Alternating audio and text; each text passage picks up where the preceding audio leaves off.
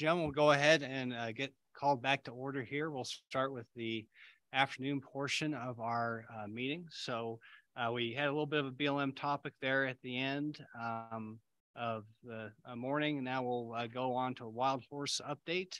Uh, first up, we have our friends from the BLM. welcome back to the Select Federal Natural Resource Management Committee.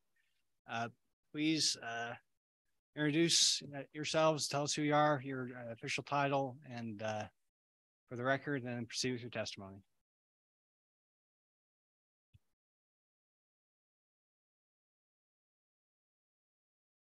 Good afternoon. I'm Chris Kirby. I'm the Associate State Director of BLM Wyoming. Thank you for having us. And we apologize for missing the earlier session. We had a an earlier agenda and we didn't know that that was happening. So apologize we weren't here to hear the testimony. So that was something that's basically going in the rulemaking process right now. We, uh, I guess, intentionally did not invite you since it wasn't uh, anything that's been implemented yet. Uh, we might have a follow, but it's about the conservation leases. I'm sure you've heard about. And, uh, um, we'll have follow up, I'm sure, once we uh, have a better idea of how that's going to proceed. But we just wanted to hear from our uh, congressional delegation and uh, some of the affected, potentially affected industry groups. And uh, so you're not, uh, you, you, that was intentional. Don't worry. And uh, okay, we, we don't want to put you on the spot with something that was at this point kind of, we don't know exactly how it's going to play out. So, anyways, Thank you. so anyways, please proceed. Thank you. good afternoon, Mr. Chairman, members of the committee. I'm Brad Purdy. I'm the Deputy State Director of Communications for the BLM Wyoming State Office. All right. Mr. Chairman and members of the Select Federal Natural Resource Management Committee, I appreciate the invitation to appear before you today to provide information about several different BLM Wyoming programs and efforts. We'll start out with wild horses and burros. Under the Wild Free Roaming Horses and Burros Act of 1971, wild horses, the goal of the act is to protect wild horses and burros as integral parts of thriving natural ecosystems in balance with other public resources. In Wyoming, there are currently 16 herd management areas, known as HMAs, on nearly 5 million acres. Four of the 16 HMAs overlap the checkerboard land pattern of alternating private and public lands in the southwestern part of the state. As many of you know, BLM Wyoming released the Rock Springs and Rawlins Wild Horse and Burro Record of Decision in early May. That decision is currently under litigation, and it would change the management of wild horses to address concerns related to managing horses within those checkerboard areas if upheld. Specifically, the Great Divide Basin and Saltwell, Salt Wells Creek HMAs would revert to herd areas managed for zero wild horses. The portion of the Adobe Town herd management area located within the Rock Springs field office would also revert to a herd area managed for zero wild horses, while the portion in the Rawlins field office would continue to be an HMA with a reduced appropriate management level of between 259 and 536 horses. It's also important to keep in mind that the current Rock Springs and Rawlins Wild Horse and Burro record of decision is a land allocation decision and does not authorize any on the ground activities or gathers in those HMAs. The BLM currently estimates there are approximately 8,181 wild horses on the range in Wyoming. This is significantly higher than the high appropriate management level of 3,725 that our, our HMAs can support. The BLM has two gathers tentatively scheduled for October 2023 the McCullough Peaks Bait Trap Gather and the North Lander Helicopter Gather.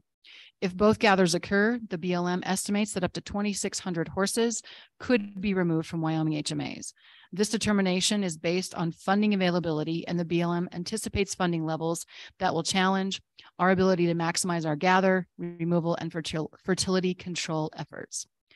The BLM placed over 7,700 wild horses and burros into private care through adoptions and sales last year nationwide.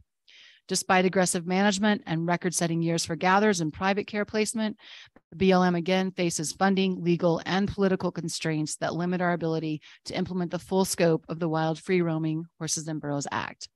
We look forward to working with partners on this shared challenge. Thank you. Uh, do you have anything, Mr. Purdy, or you good? Okay. Any questions? Very good. Any questions for the BLM? Any, any questions on wild horses? Anywhere else? Chairman, we have um meeting materials in our packet. Um, I'm wondering, is this were these documents provided by the BLM? I just don't know who gave us this info that's in our packet.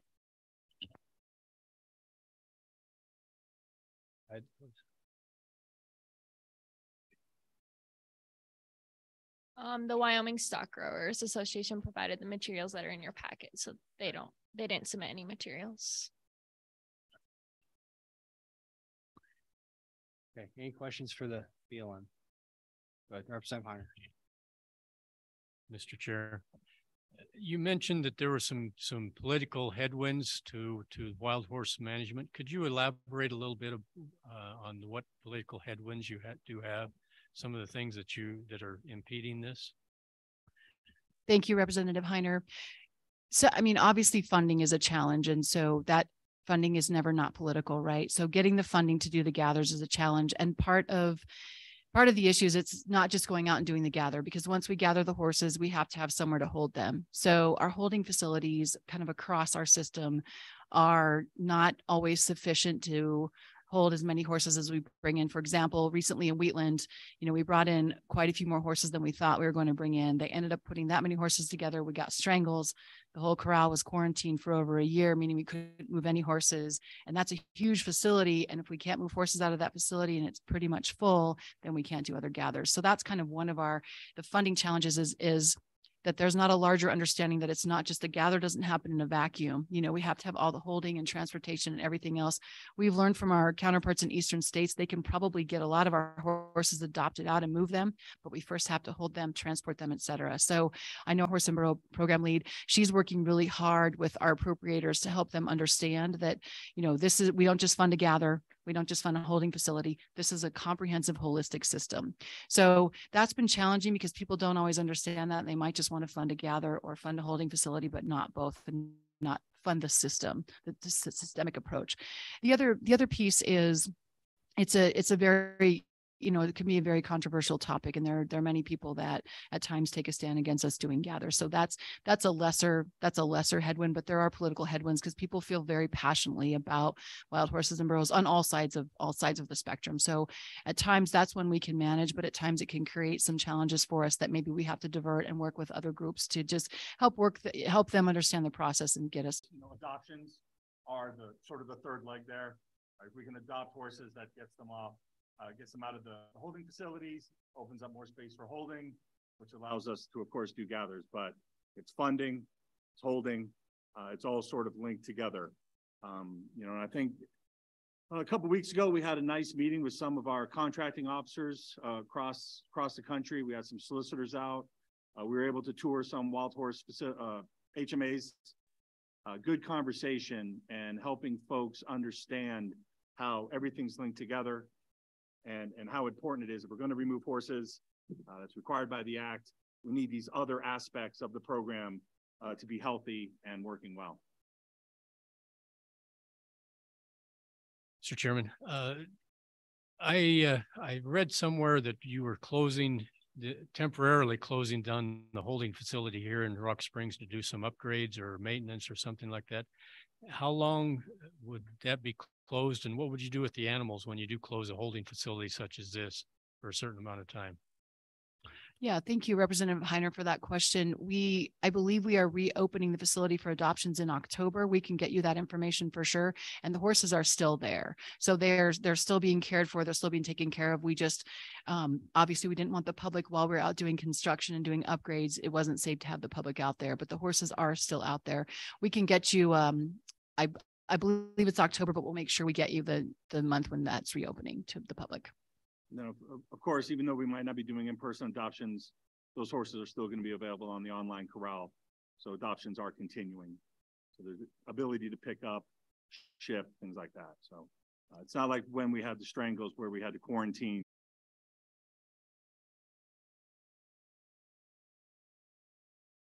Thank you, Mr. Chairman.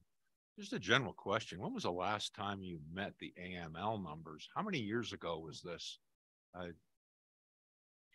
Senator Kolb, thank you for that question. And we are going to have to get back to you on that. I do not know, but it's, I'm, I'm smiling because it's an excellent question. I think it's been a while, but we'd like to get you better details on that. Thank you. You, Mr. Chairman, um, we just, I just came from a travel recreation wildlife committee meeting and we talked about, um, just the harsh winter and what that meant for a lot of antelope populations. Um, were wild horses at all impacted by the unusual snowstorm? I mean, did you see some more mortality and fatality out there? Or can you just tell us how they, they did this winter? Thank you, Senator Ellis. We don't have, we only have anecdotal data right now. We don't have actual population data or anything statistically. We are not seeing the same level of mortality though that a lot of the ungulates in the state experienced. So, but again, that's very, very anecdotal and we haven't been out doing surveys and population counts yet.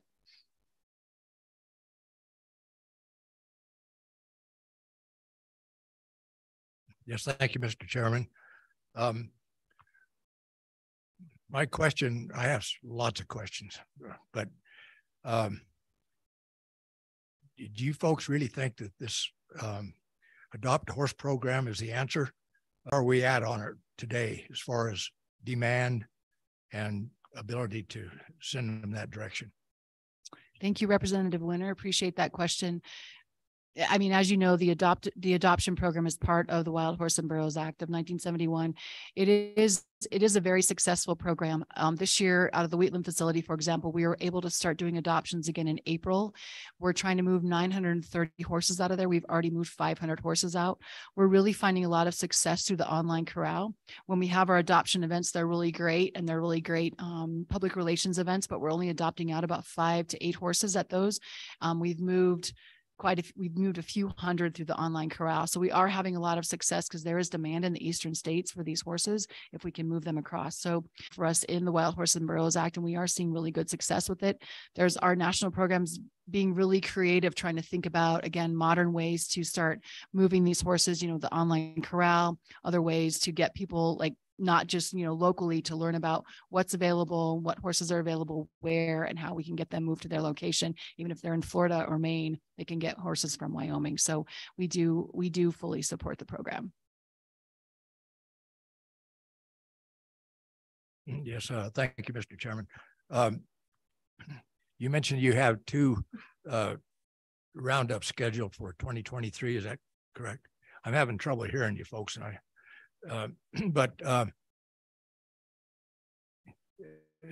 I've, I've been hearing stories about uh, the BLM requiring that we uh, or you you turn back so many horses uh, after a roundup or during a roundup, if you will. And uh, so I'd just like to get some clarity on that as to what your policy is and um, if you think you can I mean, it says here you got 56,000. Well, that's that's just nationally, but uh, in the state we have what? Um, anyway, there's lots of horses out there over and above the mm. AMLs. And uh, do you think when do you think you can get them reduced down to where they're gonna it's gonna be a, a, a decent management uh, method? Thank you for the question. So we, so the two gatherers planned for this winter, they're tentative as of right now. We have not secured funding for those yet, but they are the second and third highest priority in the entire, in all of BLM. Um, so we're hoping to secure funding for that. There I don't have an answer for you as to when we think we can get ourselves down, get all the herd management areas down to AML. It will depend on funding. There is a national push, a larger push to get supplemental funding for this program from Congress for the BLM across the whole nation to start gathering 20,000 horses per year. And they think that will, over the course of 10 years, that will get us down to AML nationwide. Obviously, we haven't received the funding for that yet. I'm seeing you smile. We haven't received the funding for that yet. That is the larger goal, though that will take a lot more capacity than we have. So the funding will have to include probably a strike team that goes around supports gathers, et cetera. So I don't have an answer for when in Wyoming we can get ourselves down to AML, but these two gathers will start to get us down that road if, if we get funding for them this coming winter.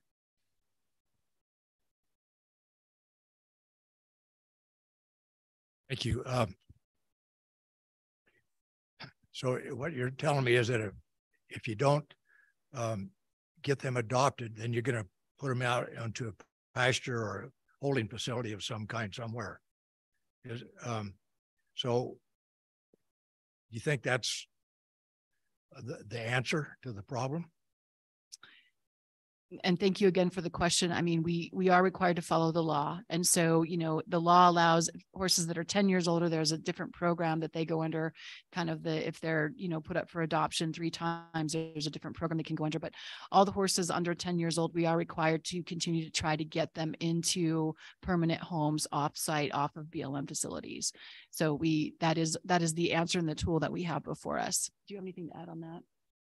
No, I mean, you know, horses can go, you know, obviously with what's best for the taxpayer is we find the horse, the, the horse that's happy home there. Uh, obviously, you know, if they age out or, or strike out, uh, if they go to three different, um, adoptions, they can strike out and then they go to long-term holding. Uh, I think that's, you know, less optimal. Um, but you know, that's the other way uh, that the horses come out of facilities like Wheatland, which is a more of a short-term holding facility. They go to eco sanctuaries. A lot of those are located in the Midwest. Um, but really what's, what's best for the American taxpayer is somebody adopts the horse. Uh, you know, we've got other, you know, other programs. We work with uh, some, you know, local law enforcement, uh, some of the larger horses that come off of, a, of an HMA. Uh, when we were up at the Mantle Ranch, uh, I saw one that the Mantles were working uh, to, I think, send to the Forest Service. Um, so again, you know, I saw a video several years ago where there was a wild horse in New York City these are some of the other programs that we try, uh, you know, to find a place for these horses to go. So.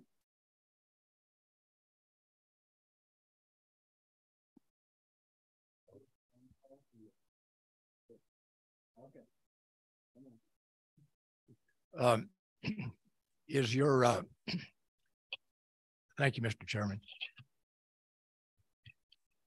Is it still costing at least seventy-seven million dollars a year to hold these horses? Or is it more or less now? Representative Winter, we can get you that information. I don't have that data nationwide, what it's costing us to hold them unless you have it. Yeah, we, we can get you that information. Okay, thank you. Thank you. Uh, thank you, Mr. Chairman.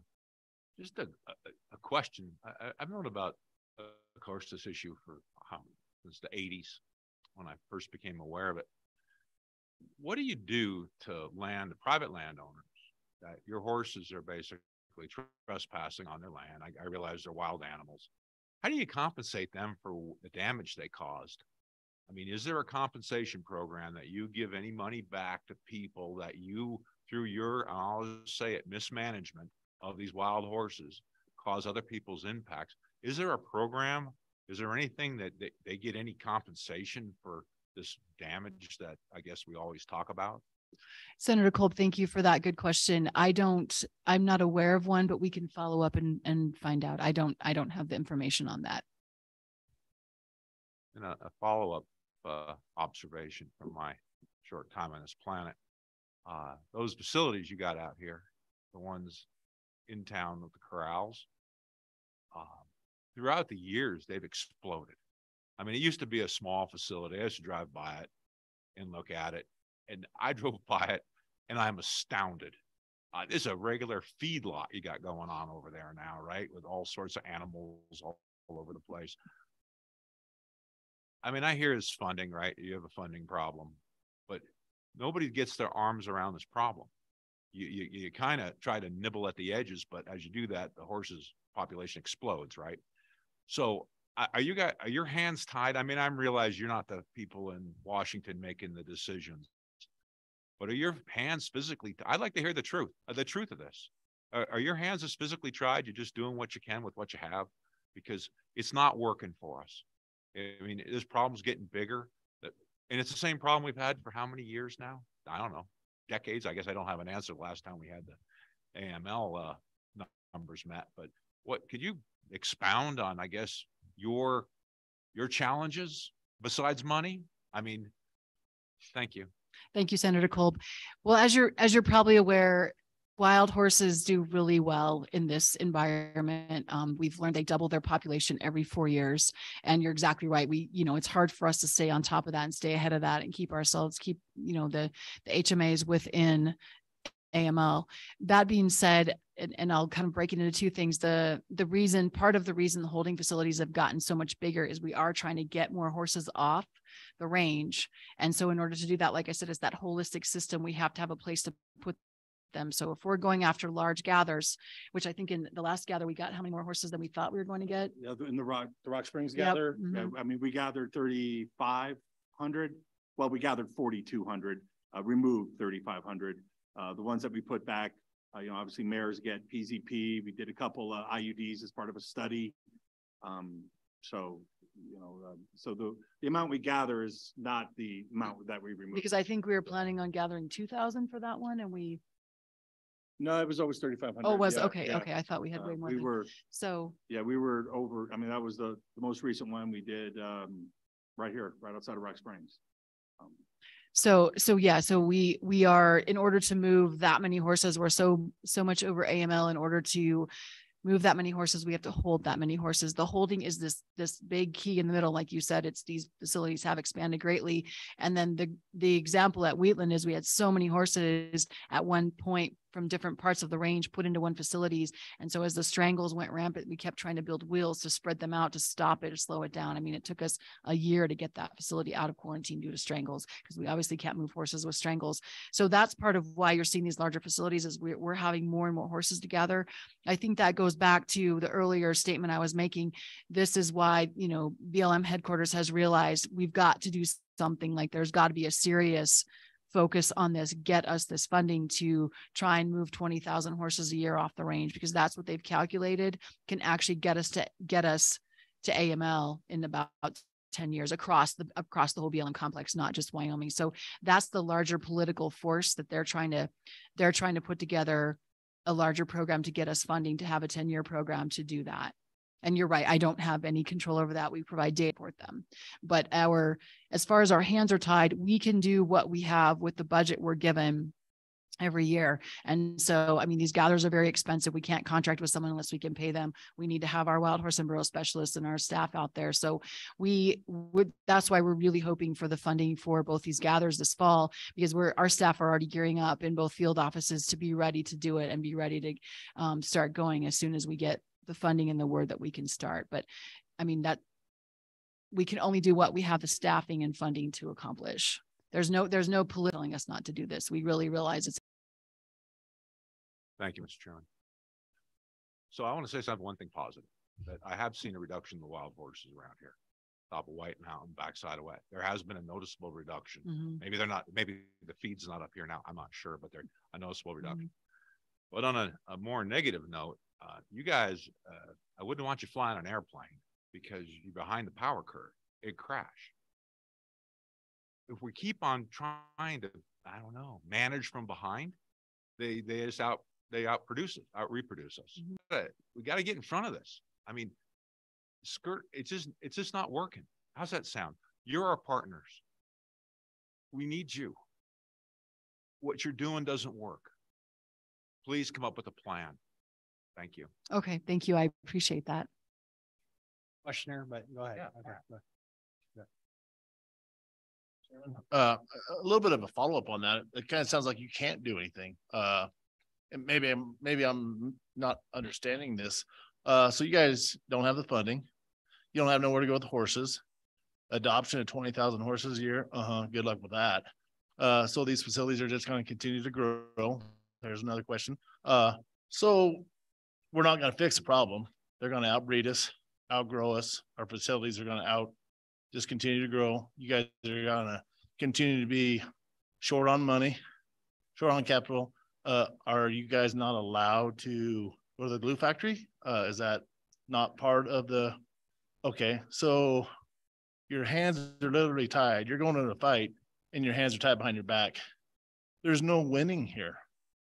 We have to. Is there, do you, can you even come up with a strategy to win this battle at the way it's set up currently? Thank you. Thanks, Representative Tarver. I appreciate that question. Tools that we are provided, you know, and so we have to follow the law and the law does not allow us to um, send horses to commercial facilities for processing.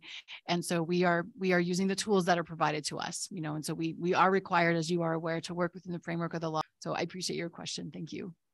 I'll, I'll just a real quick follow-up, you know, euthanasia is in the Wild Horse and Burro Act of nineteen seventy-one. That was, that's in there on, on DOI, BLM's budget for as long as I've worked for the Bureau, and that's been around fifteen years now.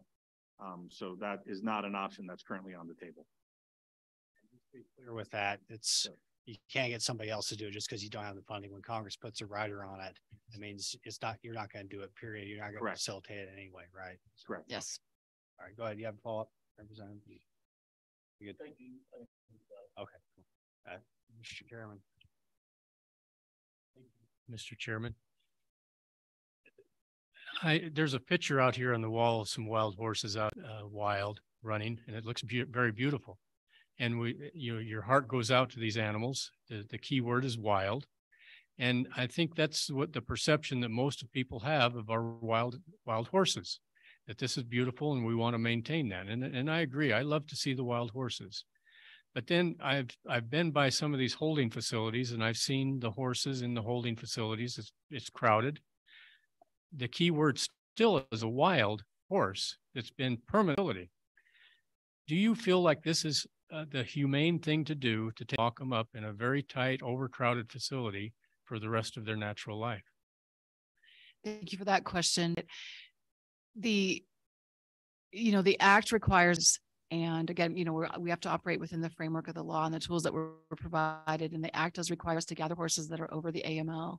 We are, our contractors that manage these facilities are required to provide humane conditions. They are rep- required to provide veterinary care, farrier care. They, they are required to provide conditions that are conducive to the horses, you know, not getting sick, not, not being injured by the conditions that we provide. And so that's why, again, at Wheatland, when we had so many more horses and we thought we made a bigger, we made, you know, we kept adding wheels and made a larger facility so we could spread them out more. We realized that, yes, running in that wedge on the wheel are, we are requiring our contractors to manage these horses in a humane way and care for them. And we do follow up with inspections and welfare inspections to ensure that's occurring. Um, Thank you, Mr. Chairman. I had the opportunity of touring our, the Honor Farm up in Riverton, where a lot of the wild horses come through and they're, they're green broke. They're adopt, uh, fabulous program and not only helps the horses get adopted, but also helps our, our Honor Farm, uh, attendees to be able to do something productive and stay busy. So it's a huge win-win on both sides Mhm. to expand upon that program at that honor farm or other other fac- facilities throughout the country to be able to utilize talents and adoption rates out there for these wild horses. Thank you, Representative Heiner. We actually were just at the 35th anniversary adoption event at the Honor Farm. It was fantastic. And as Mr. Purdy mentioned, we actually took the contracting officers and solicitors there so they could understand the value and benefit of that program. And as you say, um, see the success rate. I mean, you know, people bidding on horses, bidding them up, and the string of burros coming out, those getting bid up higher than some of the horses. So it was a really incredible event. And I think help them understand why and how that partnership is so important to us. I think we're willing to consider, you know, if the if that organization wants to increase their their ability, their staffing capacity, right? Because they're limited too. We're willing to consider options that are put on the table. I mean, you know, oper- uh, operations such as that is such a great um, a public relations piece for the Wild Horse and Burro program. And what a great, like you said, a win-win. These gentlemen that get to go there and, you know, maybe instead of staying in the system, get to be rehabbed and put out into society, you know, and having actual life skills that they can go then use and, and find a career and a profession possibly. So we, we fully support that, the Honor Farm and I think en- endorse any type of model that exists. And there, there, there are probably others in other states. I'm not, aw- I'm not familiar with them, but I'm sure we have other si- similar models in other states, but the BLM absolutely supports those. It, it's a great, it's a really great, like I said, public relations piece for our team. And that's why we made sure we took the people from the contracting shop and the solicitors there who sit in Denver, right? And don't know what these things are. We took them up to Riverton and really showed them this is what this is and this is what this means to the people here, the local community, the inmates here and, and to, you know, the state of Wyoming and to BLM. I'm really glad you highlighted that. Along similar lines, you know, we had some discussion previously about uh, some, you know, different types of fertility control. There's even, uh, you know, third parties are willing to go out and, you know, do try darting and stuff like that. Um, what has that been like if you try to ramp up that program in recent years? And has it had any success? Um, I mean, there you have somebody volunteering their time to go out and provide fertility control for this wild horse population. Maybe you should talk about that a little bit. Familiar with that, Brad? Are you? Yeah, you know, we, we do have some partnerships with some local groups. Um, and, uh, I think they have varying rates of success. You know, when it comes down to darting, you know, I think what is, um, more important is what kind of characteristic am I seeing in those horses or that herd? Like if you go up to like a McCullough Peaks or a Pryor Mountain, these are horses that are used to seeing people, used to seeing cars. So a lot easier to um, approach that horse and dart. I think you have to be within, I want to say 100 yards or 75 yards to be able to uh, effectively dart a horse. You know, you look at some of the, uh, you know, the HMAs uh, like Salt Wells, Adobe Town, 100 feet of those horses, they're going to run off. So, you know, I think that's one of the things uh, that that is a challenge when it, obviously when we're doing gathers, bring those horses in, we have to maintain that uh, ecological balance. So some of those horses are going to go back out. Obviously, those mares are going back out with, um, you know, a full injection of PZP, or again, you know, in the recent Rock Springs gather, uh, we are doing some uh, testing with IUDs. So a handful of them went out with with uh, with that. Um, so again, uh, I I know we have a lot of partners. I know we we work with folks, uh, but I think the success on that has more to do with the characteristics of the herd and the horse rather than you know do we have enough help. Questions, committee. Representative Winter. Yes, thank you, Mr. Chairman. Uh, folks, I, I think you probably do understand some of the problems that of managing these horses, but my question is, um, what efforts are you as agency people doing to uh, educate your superiors to the problem? Um, you know, this this whole thing about shooting, darting these horses into as a method of uh, reduction in numbers is, is fine and dandy, but you got to get them down to numbers before you can you should even think about that. You turn those horses back out and they they they keep eating. And that's that's the main problem that we're having out here uh, in this country is that the, the range resource is just going downhill so quickly.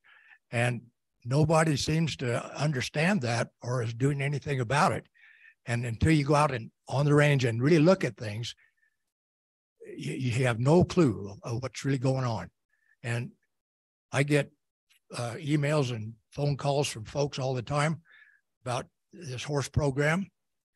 And um, it's all emotion. So we've got to change that somehow. Uh, and, and it doesn't look like you have a plan to get rid of them. I mean, we can we can go catch them, but then what do you do with them? And adopt a horse program is on the waning end of things. Uh, and it costs so much money to house these horses over time. So there's got to be another answer. And I think you both know what the answer is. I'm working that direction. So Thank you. Was that, were you asking me the question if I knew the answer or? Feel free to respond if you'd like. Uh, Obviously, that there was no question there, but you can respond to your own sentiment if you'd like. You know, I, you know, again, Representative Winter, I, you know, I do understand, you know, euthanasia, euthanizing horses, it's not something that is currently a tool in our toolbox because of that budget rider. It's like, I understand it's in the law. I have lots of conversations about this with folks. Um, you know, and like you said, it does, it does get emotional. It gets emotional on, mm-hmm. on both sides. And, you know, one of the things, um, that our director, Holly Waddell said to me one time is, you know, when we're on these gathers, when we're talking about this, this topic, you know, emotions do get fired up and, you know, people aren't always at their best when they get emotional. So as the Bureau, we have to be at our best. Um, I understand how frustrating it is. Um, but again, um, that tool is not in the toolbox and it's not something that, that we can do, even though it was in the, in the law when it was originally written.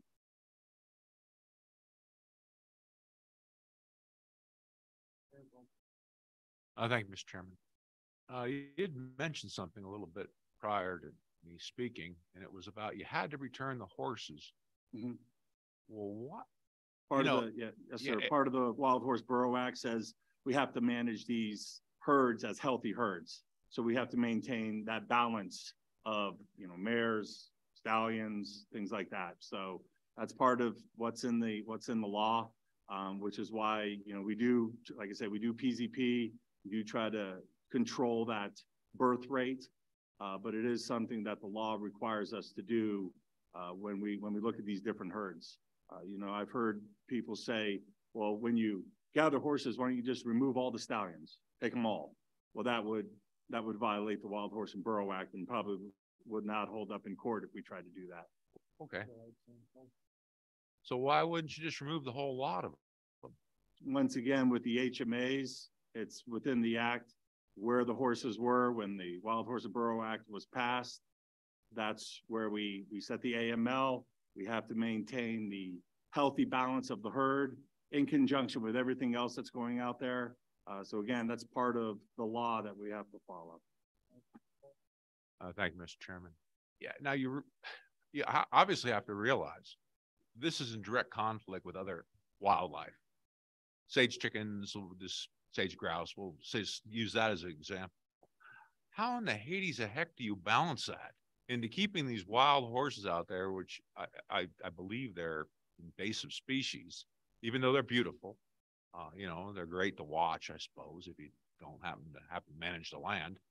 Uh, how do you balance that? How do you balance the damage that they cause? And they do cause damage to the water holes, to the wildlife that's trying to survive out there, frankly, in a desert most of the time, uh, except for today. And uh, how, what's your policy there? I, I guess I, I, didn't realize you had to return them all. I mean, I, we don't return them all. We have to return, you know, like, well, like I said, in the wild, in the Rock uh, Springs, took 4,200 gathered, 3,500 removed. Um, that's pretty common practice when we do gathers. Again, the horses we put back out, mares are going to be uh, PZP'd. And getting to your question, Senator, I think where the balance comes in, that's what the appropriate management level or the AML is. That AML's got a high and low. Uh, obviously, everybody here knows usually we're over the high, um, but that is where we try to strike that balance. So that appropriate management level is how many horses can be out there living with the wildlife, with the grazing, oil and the gas development, and everything else that's going out uh, going on on BLM lands. Okay, specifically with sage chickens, sage grouse we've got a, an issue with those, right? It's a it's a federal issue with trying to keep that population up. Goes my my particular question is this: is that we we have two issues here. We've got a population of sage grouse that we're trying to maintain because it's causing massive impacts in other areas, and you have a bunch of wild horses, which is I would I I mean you tell me if I'm wrong, are negatively impacting the sage grouse and their habitat. And how do you balance that? I mean, you're telling me I gotta you gotta do two things at once, I guess, and you really uh we gotta, we gotta do more than two yeah. things. Okay, yeah. I'm just sending it down to two. I wish it was only two. But what do we what do we do to take care? of We got grouse, they affect everything, and we're playing around with wild horses, trying to I don't know, you know, maintain a certain level that you think so. So how are we going to do that? What do you do to say like Wyoming's facing impacts with sage grouse? What I mean, what is your methodology that drives you does that come? Does that factor in to your choices on how you manage the, the wild horses? It, it, certainly does. You know, I mean, and and I think you're you're very much hitting on probably the biggest challenge of of, of working at the Bureau of Land Management. It's that multiple use mission. Right? We have to balance it all together, and that is not easy. Um, so, you know, if we see you know sage grouse populations and we can link that to to wild horses, then you know we're going to have to look at that and you know, do we need to adjust the AML? Do we need to go out there and do an emergency gather? Uh, things like that. I'm unaware of any direct link between those two, um, but certainly could be something that's out there. Um, but yeah, I mean, you you sort of hit the nail on the head. It is not easy. Uh, it's a challenge to balance all these uses uh, under our mission. And, and I think Senator Kolb, there's a recognition at the national level, right? Which is why the national program is trying to pursue funding to, to bring in, to, to do additional gathers and do large gathers every year, because there's this larger recognition, not just with sage grouse, but with not being within our AML, but also other, you know, damages to the land, other interference with other uses as we're trying to balance that multiple use. So I think that's part of the the larger focus of the national programs to try to get us this attention with our appropriators so that we can get better support for this program so that we can get ourselves back into into AML across the system. Okay, and committee, we do have to, uh, we're already behind. We haven't got to the rest of the uh, top, you know, the scheduled speakers of public comment on the um, on this topic. So just that reminder, I know something we've been working on a lot, uh, especially Representative Winter and I, I think, and Representative Heiner on the Ag Committee before. But uh, Representative Winter, with that in mind, please proceed. Uh, could you folks uh, talk to us a little bit about the uh, proposal by the BLM to change the HMAs numbers anyway, and are changing the locations where these HMAs would be located. Uh, I've been reading something about this of late, and so I just needed to get your uh, thoughts on that. And, Representative Winter, are you referencing the recently released um, Wild Horse and Burro Management Plan for Rock Springs and Rawlins. Is that the one you're referencing? Um, the, let me just read the which locations. Um, the Great Divide Basin and Salt Wells Creek HMA. The proposal is to move these to herd areas managed for zero wild horses, and that is due to the checkerboard. You know, and some of those issues that Senator Kolb brought up earlier is it's really hard to manage those in the checkerboard, right? One second they're on BLM land, the next second they're on private land, and keeps going on and on. So that that was the proposal in that in that um, EIS that was just released. However, it's being litigated right now, so we're we are in litigation under that. Thank you, Mr. Chairman. So is that going to happen, do you, do you think, or is it going to just go down the way of as many other proposals? Representative Winter, that's a great question because I think it depends on the results of the litigation. And this is all pretty recent. I think we released that plan a month ago and we were like, that was on a Tuesday and we were in litigation with two different groups by Friday. So um, this is pretty recent information. So it's hard for me to predict which way the litigation will go. So wrap it up here, Committee, I, I do appreciate in the just a few short years we've been working on this between the agriculture committee and this committee you have made significant headway i'd like to recognize that as well i know this is a, a tough issue it's an emotional issue it, it, I think it hits a, a, nerve uh, among many of our citizens. Now we are a public land state, and sometimes we feel more like a colony than a state. Um, and that's this is an example, I think, a prime example of that. Um, but I do also appreciate the work that the BLM has been doing to recognize the issue and make meaningful progress. Um, and that has happened. I think you saw that. And you get the idea of the challenges that the BLM is facing when they try to effectively uh, reduce a population HMA to zero, from what I heard, and then they're immediately sued. Um, so um, I think you know recognizing the long path that they're on, but they have started down it, and we've even helped out a little bit as a state um, along those lines. So I do appreciate the work and still very frustrating situation. I think for mm-hmm. those of us who live here, I can imagine as a rancher having to deal with this issue in addition to everything else being a public lands rancher. But uh, um, yeah, I just appreciate the effort. And I, I, want to recognize the effort. I know you've got some tough questions. I want to recognize the effort that the BLM's put in in recent years too, but also, you know, long ways to go and a lot of hurdles that. So any further questions from the BLM committee before we move on? Okay, thank you. If you're off the hook for now. Thank you, Don't Chairman. Too far. Okay. Okay. Next up, we have the Wyoming Stock Growers. Uh, uh, Mr. Magagna, welcome back. Obviously, something near and dear um, the stock growers' heart, and uh, something that you've been involved with also with the Rock Springs Grazing Association. So, uh, please provide your perspective, sir.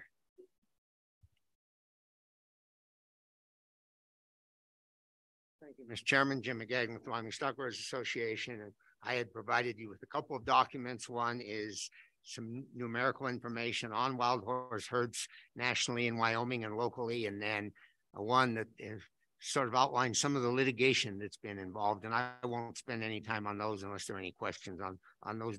I have to say, I something this past week, an unfortunate event, brought back some fond memories, and that was the passing of James Watt, former Secretary of Interior. My first interaction with Mr. Watt was in nineteen seventy-seven when I, as an officer of the Wyoming, of the Rock Springs Grazing Association, went to Denver to meet with Mr. Watt, who at that point was heading up Mountain States Legal Foundation. And that led to the first litigation in Wyoming, at least, against the management of wild horses and burros. And, and that litigation pattern, as you see, has gone on somewhat nonstop since then. And we're in it again at this point in time. But and, and also that made me recall prior to the passage of the Wild Horse and Burro Act, where of course, and uh, on public lands, on some private lands, and private sector gathered those horses on periodic schedules. I had the opportunity to observe a couple of those horse gathers, and everyone was appreciated seeing the horses there, but we never built up surpluses of horses to where there was a problem. Uh, today, we all know where we are. Uh, I certainly don't say that the BLM has always done the job the way I feel they should, but I I do, as as was been mentioned here, uh, I feel they've been put in a difficult position. They're charged with managing a healthy, sustainable resource and then managing horses that are a threat to sustainability of that resource. And Congress passes a law that would have allowed, for the most part, reasonable management, and then turns around and on the annual basis pulls back part of it so that they can't proceed with with gathering horses. Today, we're in a situation, there's actually two factors.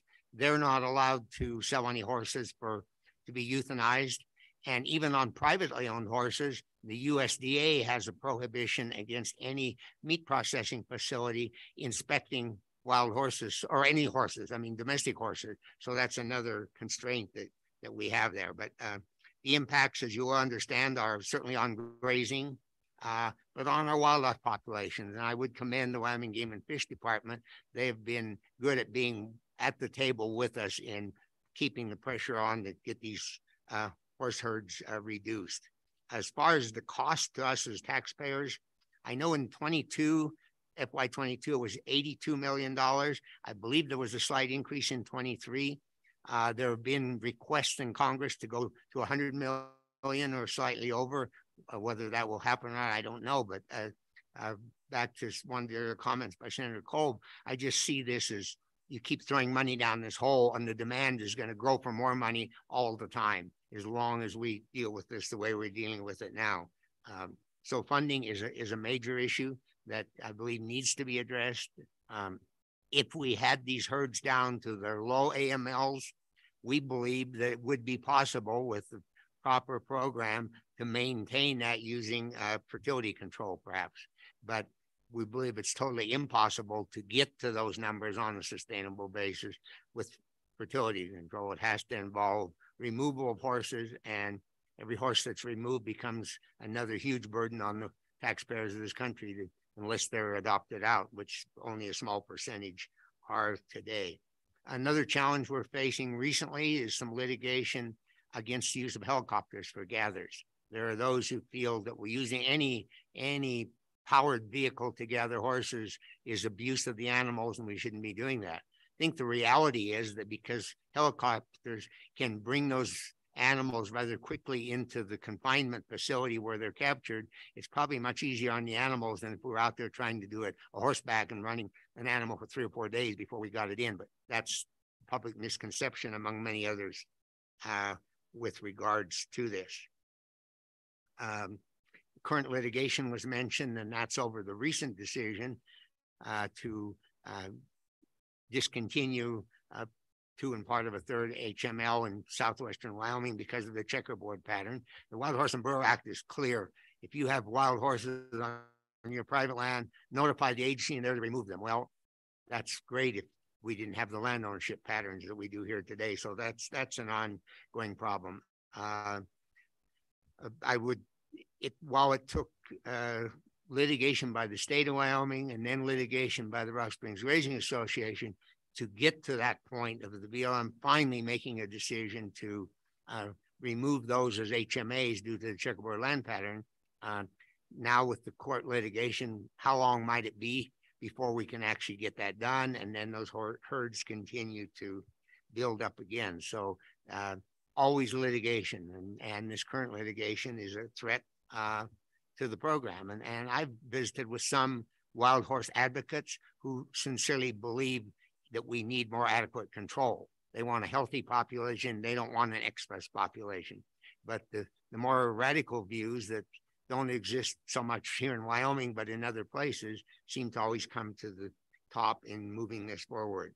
Um, a couple of things just in the wanting to move along here what may be this committee or last year we had uh, joint resolution three led by representative winters uh, certainly stated the issue well but i'm just not and we certainly supported it but not sure that a joint resolution back to dc gets very much done on any subject. It's uh, one of the concerns uh,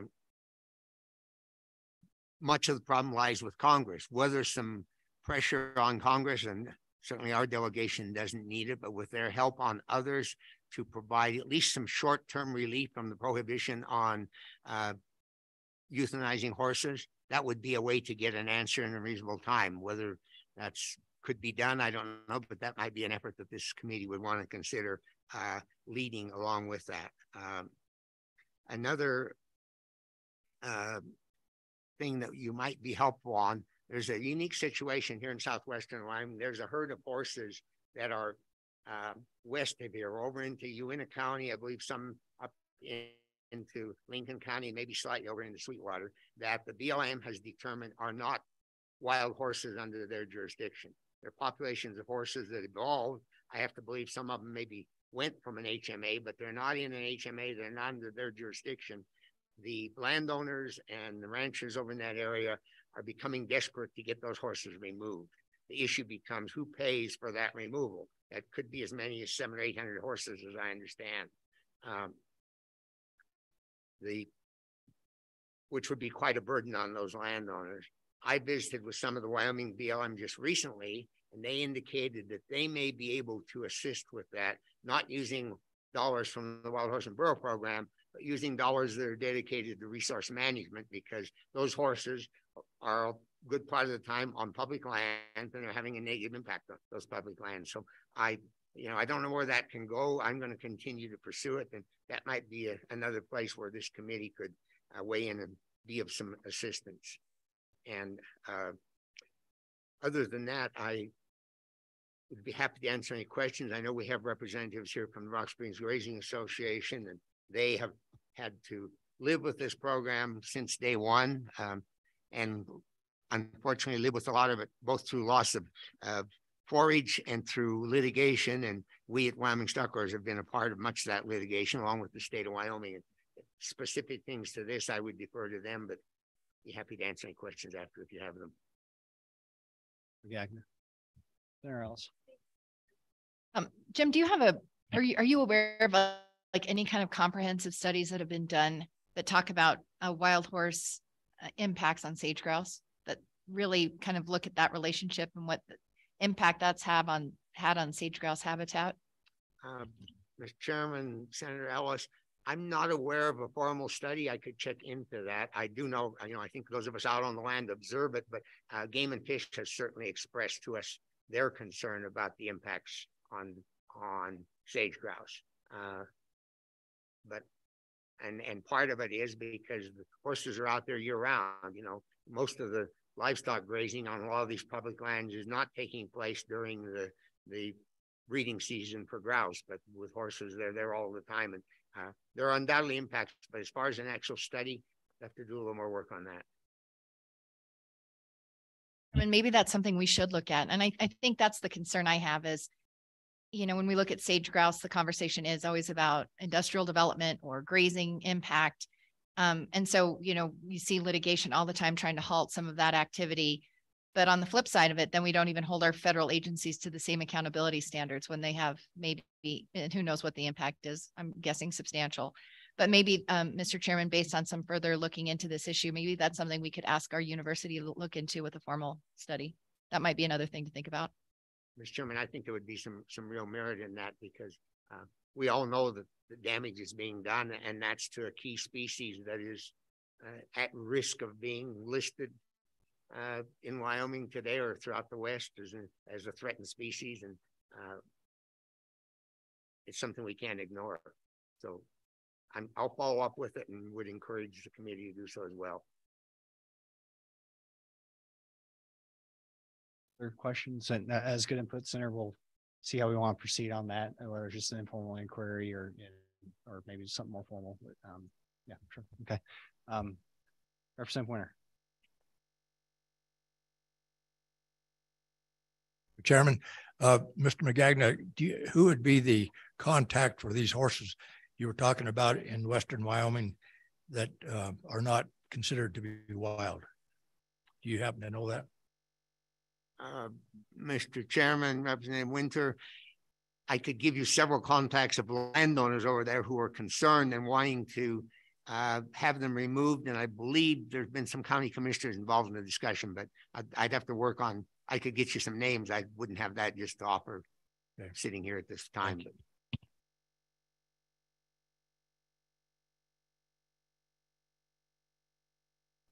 Uh, Mr. Magagna, thank you uh, for testifying here. So let's say that we do a bird study and we find out that they're impacting it.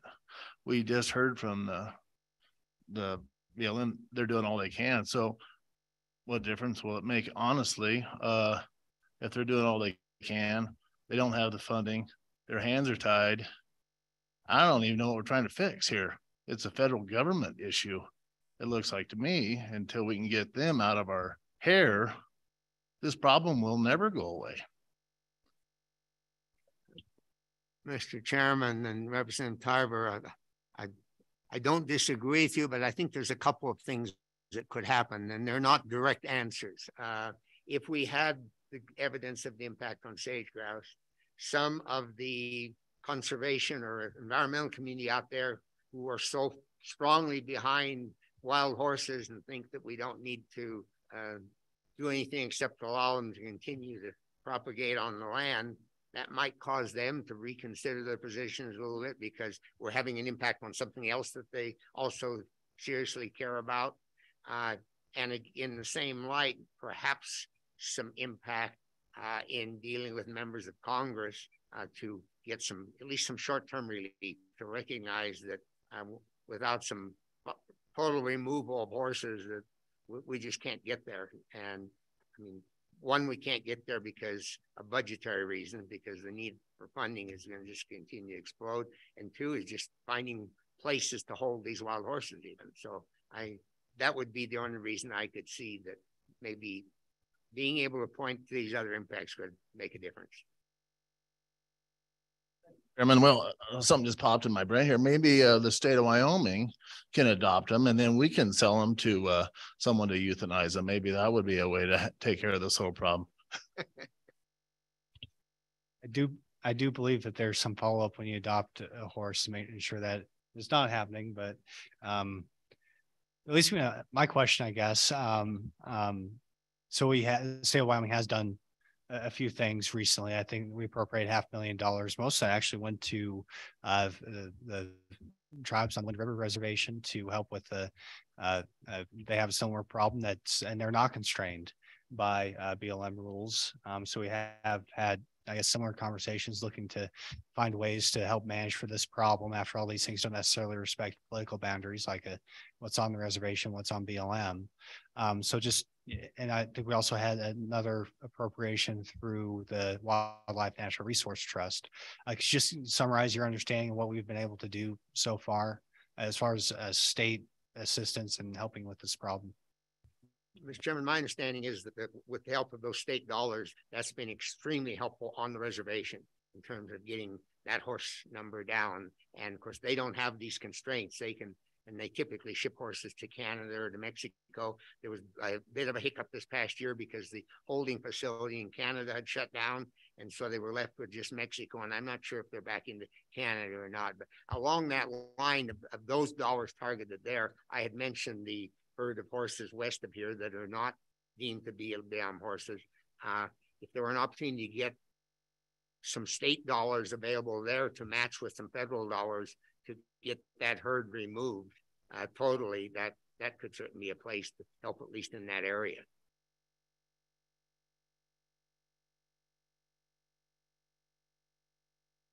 Okay. Go ahead. So I wanted to follow up to be clear. I think a study would also be beneficial in litigation. All of our federal agencies, when they do make big decisions, have to show their homework and show their work. And so, you know, if we do have a study, that's something a court could certainly consider in any kind of listing litigation. So I, I do think there might be some value to it. So I, I just wanted to say that's the, the intent. Appreciate that very much. That's a good point, yes. Okay, any further questions so far? Okay, thank you for your Thank ongoing Mr. efforts. Chairman. We appreciate it. And we'll open up to public comment. Anybody wants to uh, testify, now's your chance. Come on down, don't be bashful. Yeah, no. Just remember to introduce who you are if you're uh, representing yourself or representing a- an organization and uh, yeah, please uh, proceed with your testimony. My name is John Hay and I'm the president of the Rock Springs Grazing Association. And this is Don Schramm and um, he is my right-hand man. I couldn't do my job without him. And he spent thirty-seven years with the BLM. And so he's been involved in the original gathers that took place back in the late seventies, early eighties. And I think he has some information he would like to share with you, first of all, in regard to that. Thank you, Mr. Chairman, for, whoop, where's the button on this? Is there a button? Uh, I guess the old story is, according to Paul Harvey, now the rest of the story. We've heard the BLM story and with all due respect, my comments have been exchanged with several state directors, so assistant directors, secretaries of interior and others well documented in a public record of BLM in the courts. And I'll briefly give you a blue collar version of some of the discussions on horses in our experience. Uh, my name is Don Schramm. I retired from BLM in 2001 after 37 years in BLM. And since 2003, I've assisted in the management and the land operations of Rock Springs Grazing. It is often said you don't know where you're going until you understand where you've been. This has been applied to world history, American history, and for sure in wild horses. When I was first exposed to wild horses, I had just arrived at the Rock Springs office in 1977 and told I need a plan to build a big corral for the for wild horses. I knew little about wild horses other than seeing a herd on Oregon Buttes and a bunch on top of Green Mountain near Jeffrey City. Then I was told there was a lot of wild horses and BLM awarded a contract for a contractor to gather 250 horses south of Little America, the same area the previous discussion described. That contract was terminated after it was realized the contractor could not catch any horses with riders. And he had arranged for a helicopter to help, which at that time was illegal. And I have to say, one of the people very familiar with that is sitting right at the end of the table because he was charge of the wild horse program then. Then I was told to plan and organize the first BLM roundup with authorized use to helicopters. Only after conversations with a couple BLM wranglers, we finally did figure out how to round up with riders and a helicopter as a team. That was during the fiscal years 77 and 78. It was a real education for this civil engineer. In between my other responsibilities for engineering and minerals, I was aware of a growing frustration among BLM staff and managers and RSGA. There are far too many wild horses, and the BLM Washington office would not address the problem beyond limited gathering across BLM. This is only six years after the passage of that, and now there's already too many horses. 1978. Then I was informed that RSGA then had asked the U.S. Marshal, according to the act, that's who you go to, to gather all the horses off private land in their checkerboard. But there was no immediate response, so the recommendation from the BLM to Rock Springs, you're going to have to sue to draw attention to the problem. And they did. In the meantime, Wyoming BLM was actually trying to increase funding so it could gather and decrease the number of, of horses that were approaching 6,000 just here in Rock Springs District, not including Kemmerer or Pinedale.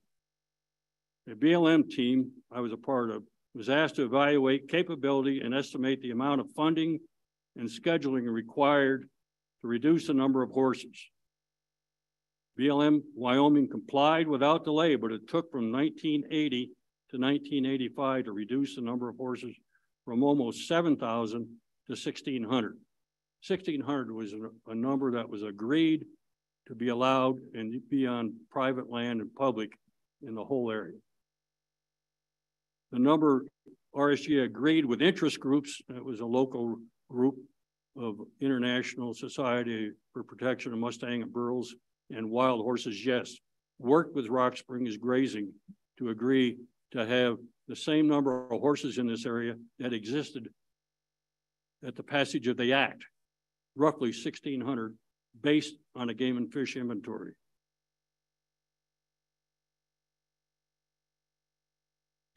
Judge Kerr, in one in the, what we often call the Kerr decision, 1980, agreed with that approach.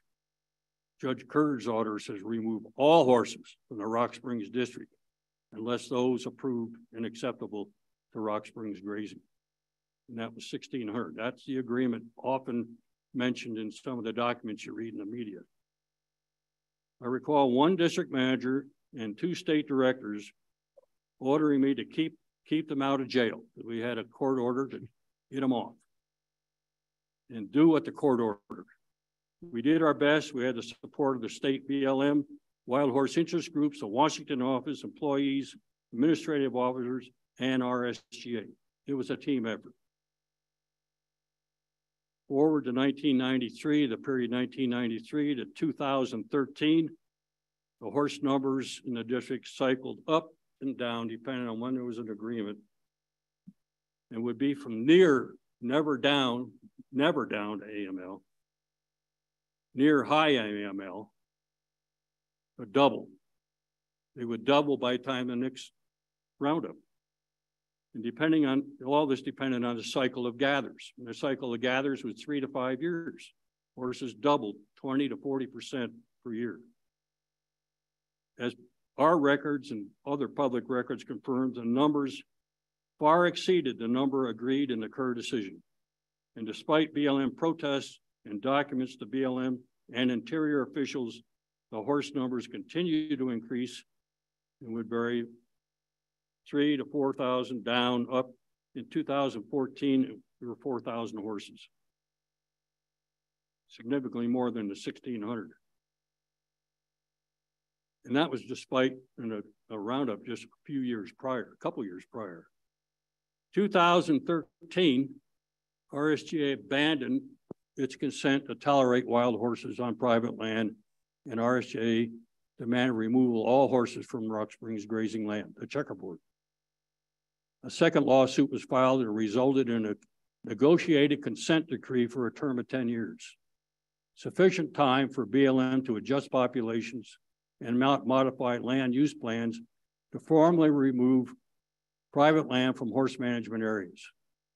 However, there was a new management team in BLM, Rock Springs and Cheyenne, and there was less of a commitment to honor the intent of the consent decree. Rock Springs Grazing continued to pr protest the progress in keeping horse numbers to the agreed number of 1,600. June 2023, today, the consent decree expired in April. The proposed land use for the Rock Springs RMP was only recently released. It will be challenged. There are far more horses today than when the consent decree was signed in 2013. A little different than the Kerr decision. The numbers went like this. For the consent decree, they go like this hardly the intent of the court action. The BLM public record will imply the population today is near AML, 1,800, 2,000 at the end of the last roundup. However, last winter, BLM with great credit, spent considerable amount of money to have an infrared aerial census of the land for the horses. 4,700 were counted more than double what they claimed was there.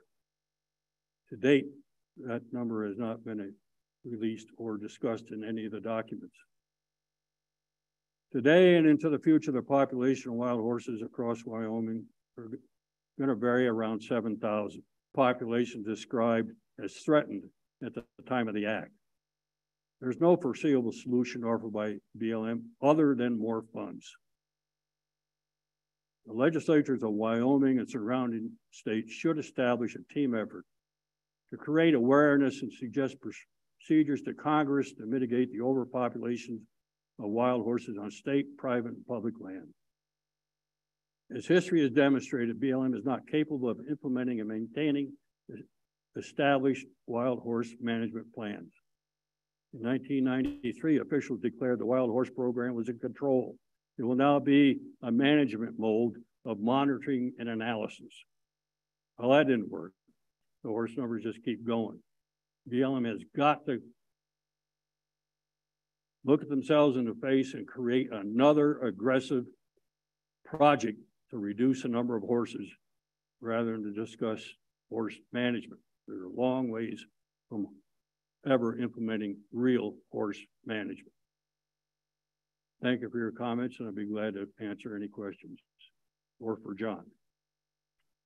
Okay, thank you, Mr. Schramm. Any questions for the Grazing Association, Mr. Cocham? Thank you, Mr. Chairman. Mr. Schramm, thank you for this information and some of the background material. So since 20, the consent decree in 2013, has the BLM ever met the consent decree numbers that were agreed upon? And if not, what makes you confident that they will manage them appropriately now uh, as uh, they promised? No, not, we keep our own set of numbers. It's well known we BLM and Rock Springs Grazing disagree on numbers. I would have to say the infrared study even exceeded our numbers. Are they going to be able to do it? Not under the existing political climate. Congress has got to change something. The act has the tools to do what you need to do. A discussion that I didn't hear mentioned today and has been discussed over a number of years is rather than just having adoption, you need to have immediate sale authority. I helped develop the Adopt a Horse program in Rock Springs. At that time, we had people lined up from every state. It was like a, a meat market where you grab the number before you go to the corral. We only had to worry about a few horses over 500 or over five years.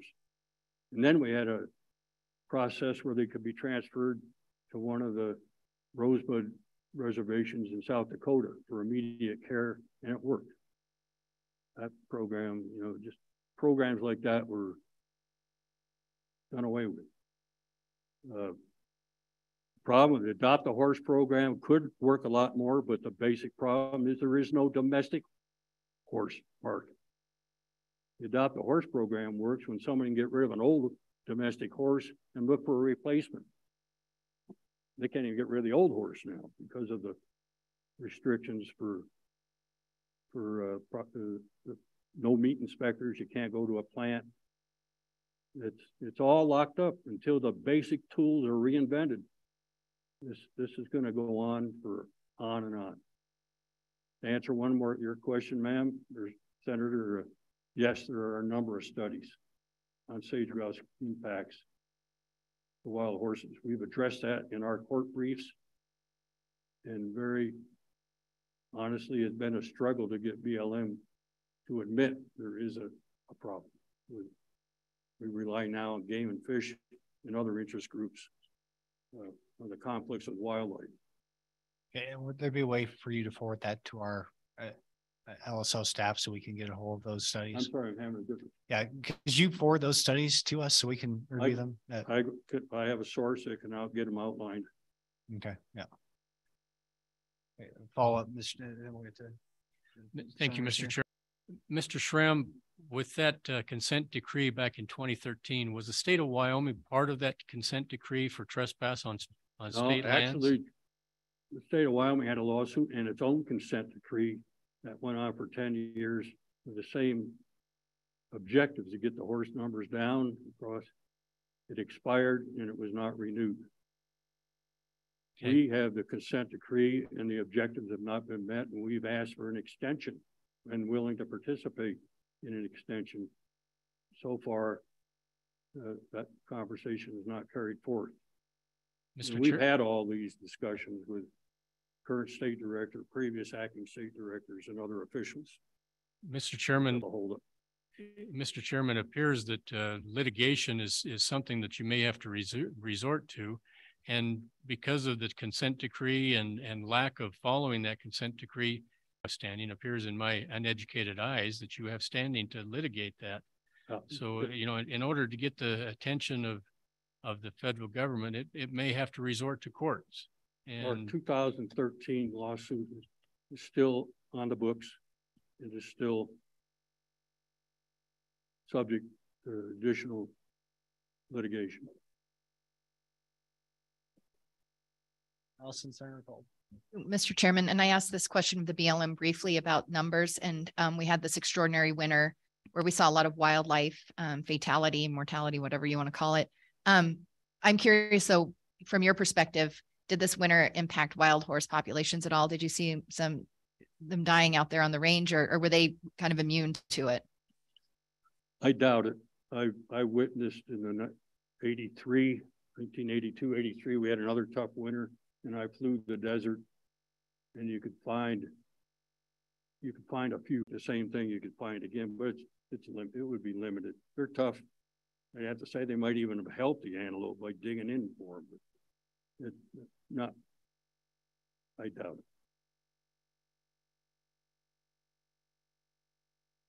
Chairman. Um, Mr. Schramm, I had asked the question earlier and the BLM didn't have an answer uh, on any compensation given to, say, you and your, and your organization uh, for damages by wild horses on the property. Is there, have they done anything to mitigate that financially if they can't take care of the horses?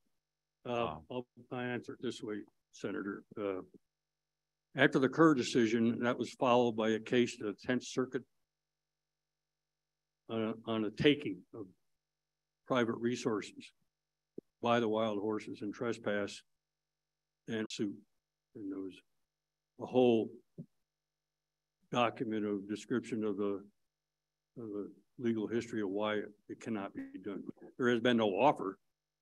Uh, it's a little odd that we're offering sixty million dollars plus the private ranches in Oklahoma to take care of them.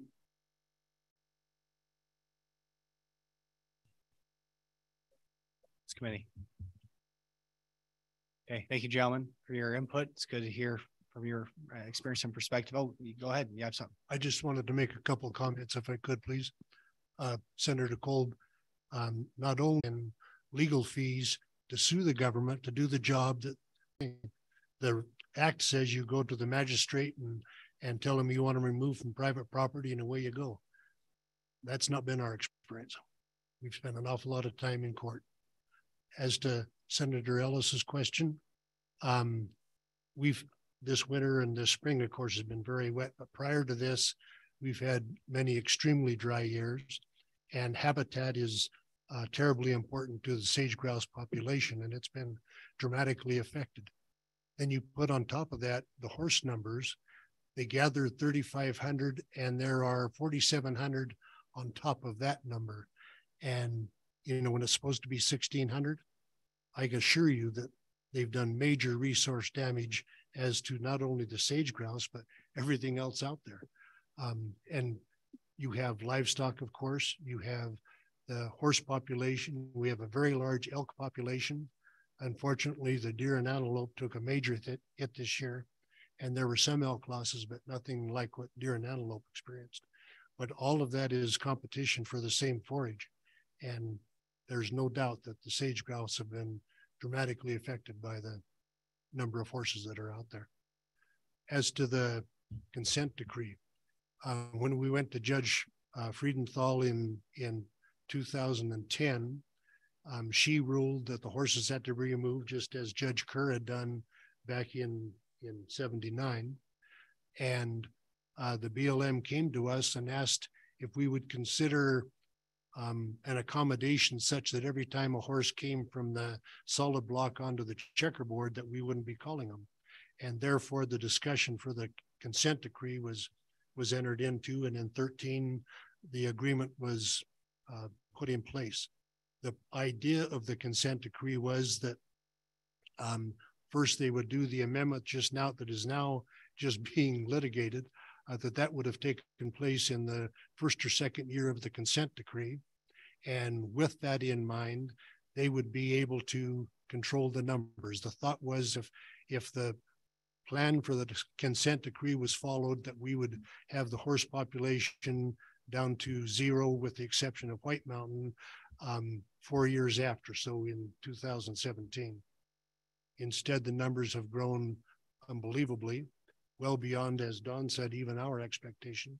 We had guessed after the gather there were around 3,800 horses there, but the infrared count, which is indisputable. I mean, you you can see the images of not only the horses but the um, the elk, and, and it, it gets down to enough detail. If they have a picture of a whether it be a horse or an elk standing there, as they move their feet, you can see the heat signature from their hoof on the ground. I mean, it is, there's no way you can dispute the numbers there. We've always had difficulty with the horse people saying, oh, they're just exaggerating the numbers. Well, it, it's all in place now. They, they can't dispute that. Um, and so it's, it's our hope that one, we could get the consent decree back in place. The reason being, we know this is going to be fought in court, and court battles never happen overnight. And um, when you have the consent decree, you're moved up in status as to when you can have a gather. And we have more horses now on the range than what we had when we first went to DC to start the lawsuit. We went and told them we needed them removed, and they essentially laughed at us. So we went to court and were successful. And as an accommodation to the BLM, we entered the consent decree to make it um, an easier project to work with. Unfortunately, the people that we worked with on that are gone and we've not had the cooperation uh, since then in order to get this job finished. Chairman, Mr. Hay, thank you for that that testimony. As we've heard, the the federal government is paying a tremendous amount of money for other ranchers to house these these animals that are taken off of the range. Uh, Mr. Schramm mentioned uh, $60 million maybe going to Oklahoma to ranchers. So with the infrared, it's pretty pretty easy to prove how many wild horses you're you're supporting. Mm-hmm. Has there been any discussion in the past about the the, uh, the federal government printing some more money to pay the Rock Springs Grazing Associ- Association and compensating you for housing animals that they're willing to pay other ranchers to take care of these animals, why not pay Rock Springs Grazing? In the first Kerr decision, there was a second case that did exactly that, asked for um, payment on resource damage on forage that was taken. And the court said, no, thank you. Uh, there hasn't been another attempt since then, but that doesn't mean that that discussion shouldn't take place. Clarify, the, I, if I can, Mr. Chairman, mm -hmm. to mm-hmm. clarify the situation in this Rock Springs. You have huge area, goes from Colorado line up to the Sweetwater. You know, you got solid block, all public land, and you got the checkerboard. With the Kerr decision, it was recognized that because of winter, regardless of where the horses are in the summer, the majority, the vast majority will end up on private land in the checkerboard, just like the antelope elk and everything else does. It's winter range. And that's why the history of some of this litigation is uh, cooperation of Rock Springs grazing was required even to maintain the horses on the all public land. So they're eventually going to be down on private. So it's it's a real comp it's a real problem. Okay, any further discussion committee? Okay, thank you, gentlemen, for your time. Appreciate your efforts. Thank you very Keep much. up the good work. I know you will. Okay, any further public comment? We have somebody online actually, so we'll uh, pivot um, to online public comment. In the meantime, if anybody in the room wants to come on down, um, feel free to just uh, come on down to the, the microphones here. But we'll go ahead and uh, I think we have somebody online, so whenever they get into the room, that they could introduce themselves and uh, say who they're with, if they're representing a group or just themselves, and proceed with the testimony. Can you hear me? Okay. Okay, great. Uh, Ms. Chapman, welcome uh, to the committee. Uh, feel free to introduce yourself and proceed with your testimony. Okay, representing the Wyoming Wild Horse Improvement Partnership. And I just wanted to uh, thank the committee for this topic um, being brought forth as a as part of a natural resource management um, issue. And I'd like to to to just state that our group has been working to build some partnerships within the state of Wyoming regarding wild horse management. We recognize that this is uh, a, an issue. We, um, I think we are part of the uh, the groups that were mentioned by Mr. Magagna um, as recognizing that you know the wild horses have a place in Wyoming. They are part of the um, resources that the Bureau of Land Management manages and uh, or is chart you know tasked with managing. Um, and yet we also recognize the impacts to the state of Wyoming on a state level uh, for both the industries that are represented, um, being oil and gas, um, tourism, and also agriculture in that order as the top three industries in the state um, and they definitely do have an impact um, to all of those industries. So what um, what I wanted to to just sort of put forth here today is that we are also one of the we, we have volunteers, individual volunteers within our group who are part of the um, darting projects and uh, that are being done with the Bureau of Land Management. Um, we are actively working, we have volunteers who are actively working with the um, Rawlins Field Office in the Stewart Creek herd management area on a darting project there.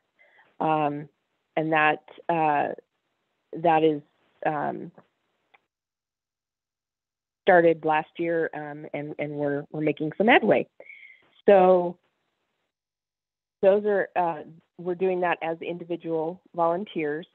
Um, and then everything else that I'm going to talk about here really quick for you is not as a representative, you know, we, we're not representatives of the Bureau of Land Management. I want to make that very clear. Um, but we are a part of that solution. We solution because we believe that that's important. Um, as Wyoming Wild Horse Improvement Partnership, we are also seeing that there is a lack of uh, solid information out there for people who um, that kind of guide the BLM and how things are done. Um, might trigger some of these lawsuits against the BLM, uh, things like that. There's been a lot of discussion today, really outlining the challenges that the BLM face. And I think we can all agree that they're pretty hefty challenges um, to kind of uh, educate the public a little better about tentacles that sort of fan out from the wild horse issue. And, you know, a lot of those have been touched on today. There's the agriculture and the forage and the health of the land um, impacts to sage grouse, impacts to the uh, wildlife that share the range, um, and then you know back again to the impacts to the industry. I think that wild horses uh, definitely play a huge role in the tourism industry. There are people who travel to Wyoming specifically to see our wild horses. And so then you look at um, places like the White Mountain area that has a designated wild horse loop yet it's a part of the checkerboard problem. Um, and it's part of all of this uh, topic that or discussion that Mr. Schramm um, brought to the table. And I think he did an excellent job of outlining the the attempts um, of of their group to work with the BLM and wild horse management, um, and their involvement, which is is you know part of the, the you know they were the original managers. They were they were part of that. Um, and I also feel like we are very supportive as a group, Wyoming Wild Horse Improvement Partnership. Um, we're supportive of of their suggestion of a team to address uh, this situation and raise more awareness, and and that's kind of what I'm offering here is that we would like to, you know, be a part of that team if if possible. We would really like to be invited to the table there um, or have a seat at the table, and then we would like to be helpful in disseminating some of that information to um, people who are more passionate about the wild horses being on the on the landscape. Uh, we feel like it needs to be protected. The landscape needs to be protected. The horses need to be protected, um, and there's there's there's a lot more to it. Um, but in a nutshell, that's kind of kind of how I what I wanted to say here. Um, I'd also like to offer that one of our constraints right now is funding, um, as is everybody's.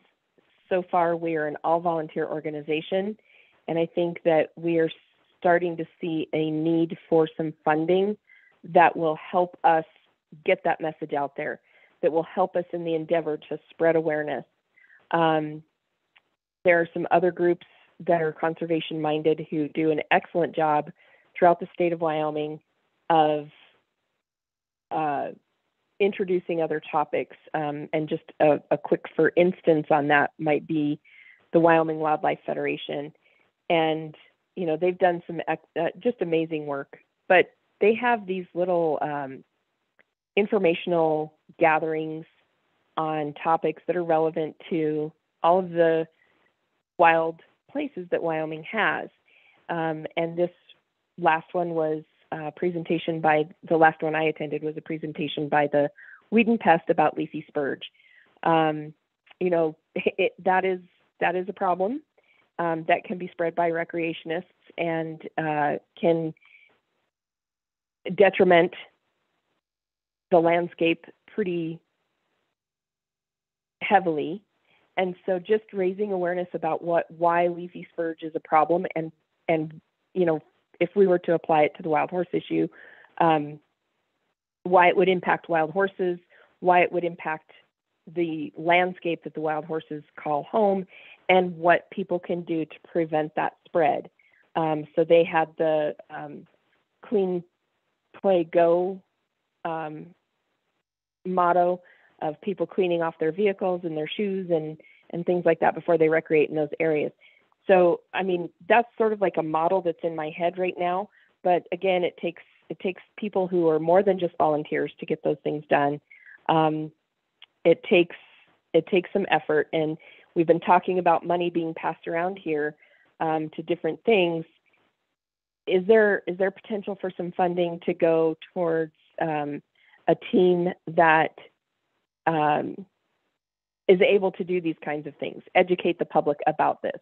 We are getting ready to launch a podcast that we hope would be something that would have an international reach because the people who fight for wild horses in Wyoming, and when I say fight for, that's uh, not a very good term because I think they fight against wild horses in some ways. Um, and I'm just going to speak to this lawsuit that the BLM is facing right now. Is that for or against the wild horses? Eh, I it could go either way depending on who's who's looking at it. Um, and so, you know, the people who are supportive of that and the people who actually filed that litigation, they don't even, some of them don't even live in the state of Wyoming. So, getting that information out to uh, on, a, on a national level to people so they really understand what Wyoming's challenges are. They're unique, they're specific to this area, and the horses are specific to this area. Um, we we heard from the BLM who talked about um, the herd, the McCullough Peaks and the Pryor herds that are much easier to dart. Stewart Creek is going to be a herd that's easier to dart than, say, some of the Green Mountain horses or specifically Antelope Hills is going to be a hard one that it would be a difficult place to ever dart. But we have seen from other states when ag interest groups pooled together with horse interest groups and the two went to the BLM and worked together, they were able to come up with solutions that got the fertility control into those horses because those groups were able to provide manpower or provide money that the BLM did not have access to.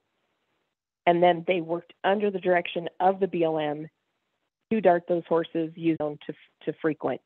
And they were able to get those horses started with fertility control. Um, so, you know, we we have we have research, we have gone to a lot of conferences. We are very educated in this.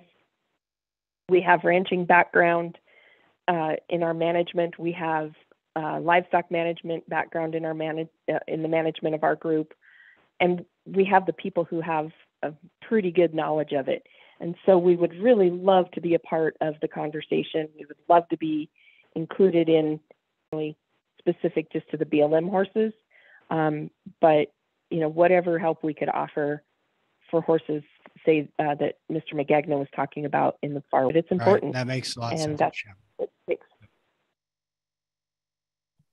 Okay, yeah, thank you for that testimony. And, uh, you know, I think part of the discussion moving forward will be something along the lines of what we've done in previous years, which is provide a, a pot of state money that anybody can apply for. I think the last round went to the, the tribes and to, um, the honor farm. So I just say, uh, stay tuned for that, um, if that's a possibility moving forward. So committee, any questions for Ms. Chapman?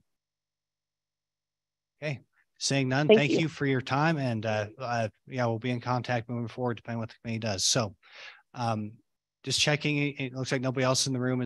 Okay, it looks like public comment on this topic is closed. Committee, are we looking to do anything in particularly volunteer to reach out to the appropriations committee to see if we want to fund another round of funds or we want to do something more formal? Senator Ellis. Thank you, Mr. Chairman. I did find a few. I'll circulate to our committee.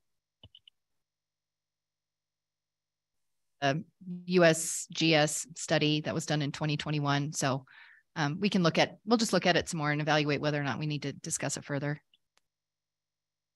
Further discussion. We've had plenty of discussion. Any, any further solutions, committee, to a difficult uh, topic? Okay, so like I said, we've, uh, the state of Wyoming has shipped in, um, recently and two different occasions. Sounds like there might be further opportunity, um, potentially, um, on the reservation where the, you know, BLM rules do not apply. Um, and where, uh, it sounds like some areas that are, uh, where we have wild horses which do not fall under BLM jurisdiction. So we can follow up on that. Uh, for now, I don't think we need any formal action from the committee. Okay, uh, Senator Kolb. just for clarification, so we are going to pursue the uh, potential impacts of uh, wild horses on sage grouse habitat. Yes. All right, thank you. an important topic. So uh, there's a break scheduled. Uh, we will not be taking a break. If you need to just go up and, uh, you know, take a personal break, that's fine. Just make sure we retain a quorum. Um, so we'll just go ahead and uh, push on through. Next up, um, oil and gas leasing. Uh, BLM's back at the table.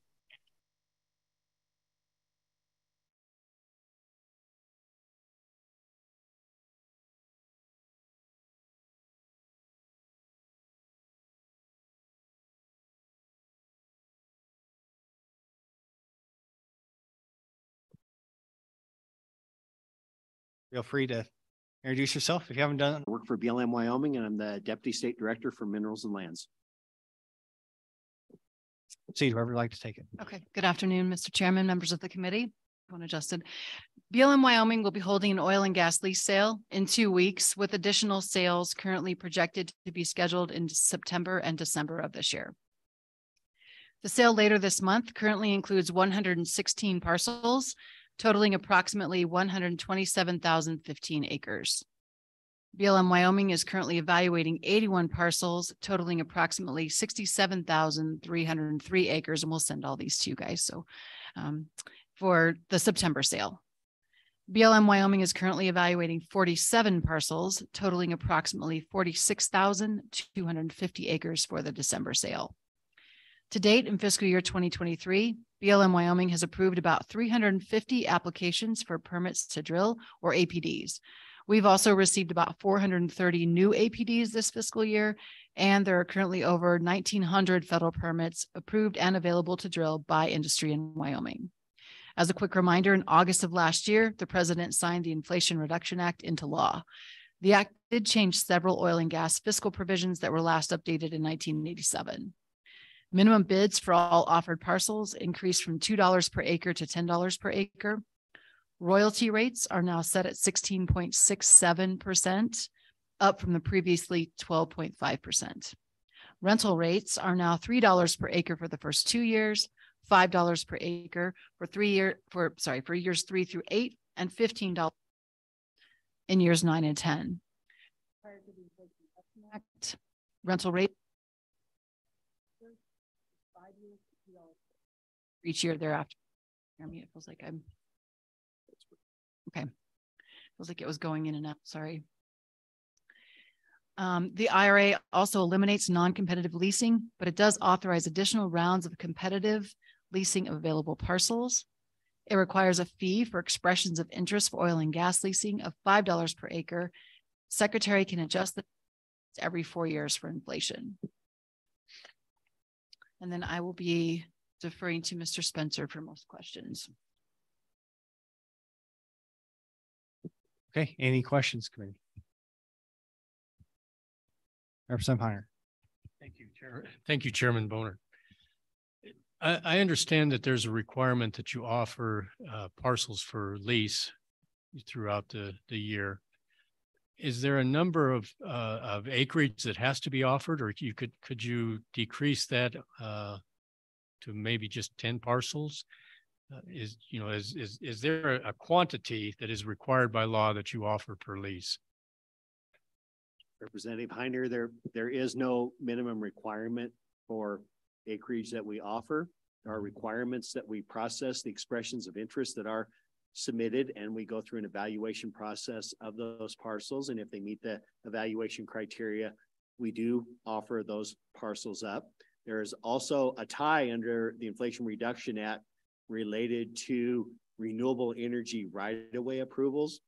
And so it had a couple, couple numerical requirements, which were it set a standard of either approximately BLM offering 2 million acres for sale a year, or at least 50% of the expressions of interest received every year. So, so there's an interest in issuing renewable energy right-of-ways, and there's clearly the tie with the number of parcels we offer. So there is a lot of balance looked at those parcels there to make sure that we meet that criteria so that we can issue renewable energy right-of-way approvals.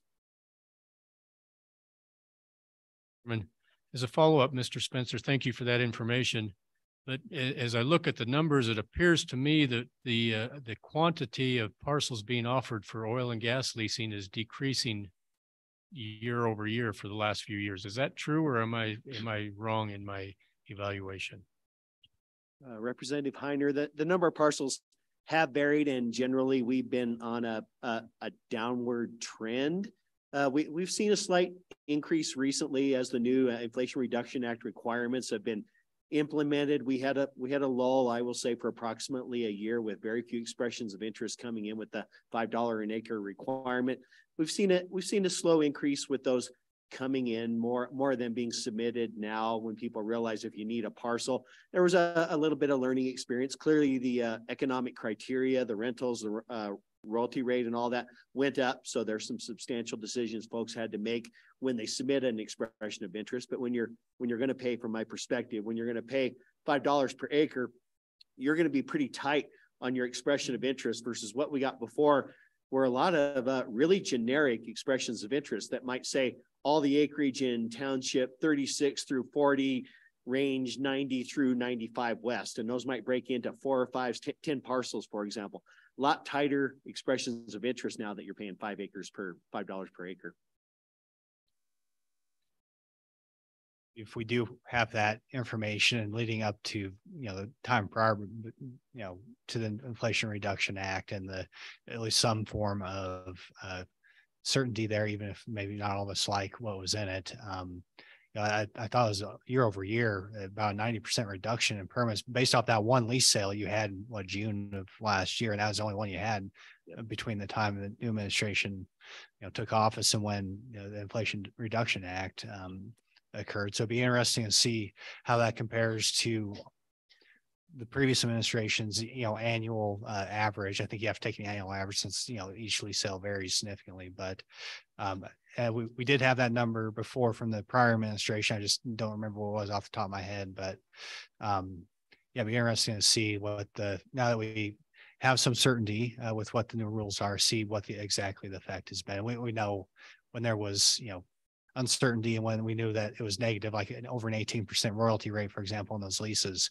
that it was a 90% reduction. I do remember that. So um, that would be uh, helpful for me at least to continue to gauge the effect of these decisions on our industry and, and recognizing that yeah, this is just one part of a very complicated process, right? I'm sure an oil and gas company wants to have as many options as possible when it comes to drilling. And, you know, this just is one, this is one more constraint among many that, that they have to deal with when it seems like sometimes those rig schedules uh, change on a weekly basis. So, uh, um, so anyways, if you could provide that, I, I think that'd be helpful to help get, take my co-chairman's questions as well. So. And Anyways, Mr. Go ahead. Make sure I got that question correctly. So you'd like to understand the number of acres kind of in parcels before the Inflation Reduction Act and before this administration, correct? Correct. Okay. Yeah. Okay. Yeah, and, and we can compare it to what we got going on now. I think that'd be helpful. So. Okay, any questions for the BLM? Okay, I appreciate your testimony. I think this is something that we're, we're fairly well versed on on this uh, committee and uh, it's just good to hear the update as to how this uh, uh, so-called IRA is uh, being implemented and the impact We'll continue to assess that. So. Well, Mr. Chairman, I would, I would add that we, we made some big strides in that there's recognition that the process is always moving. At any one point, you're working on three different parts of three different sales at one time. So got a lot of acknowledgement finally. You got to get a schedule together. It's regular. It doesn't happen and doesn't turn on a dime. And so that that's been a I don't want to call it a breakthrough. That's always been understood, but getting those schedules clearly submitted and everybody understanding or meet these deadlines, here's how you work backwards and here we do it. And we've made we've made tremendous progress in the last year getting that acknowledgement and understanding all the pieces that have to get done if you want to have a sale. So there's been good progress on that front, even with the new criteria. Go ahead. Quick question, Mr. Chairman. Thank you very much. Mr. Spencer, what is the time frame from when a when a parcel is being an expression of interest is submitted to where it's actually offered for lease? How much what time lag are we looking at? Uh, Representative Heiner, it's it's approximately 10 months to a year. We we typically are planning a year ahead because you have to have a, a cutoff date for your expression of interest so you know what you're working on. Then you've got to put all those parcels together. Then you've got to go through a public scoping notice for, for 30 days. You've got to prepare the environmental assessment. Then the environmental assessment has to go out for a 30 day public comment period. You have to address all those comments. Then 60 days before the sale, you put the sale notice out for the protest period for 30 days.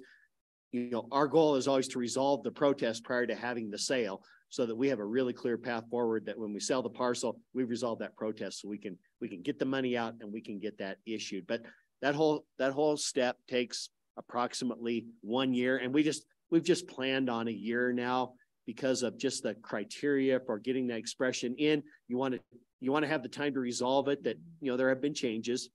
But still is if you don't get that fee submitted we don't get that accounting that shows you submitted that fee that expect make sure we can work with folks to get that resolved because it's a learning process to get that submitted there and do all of it. So so we've made good progress but but it is a it is a really a year process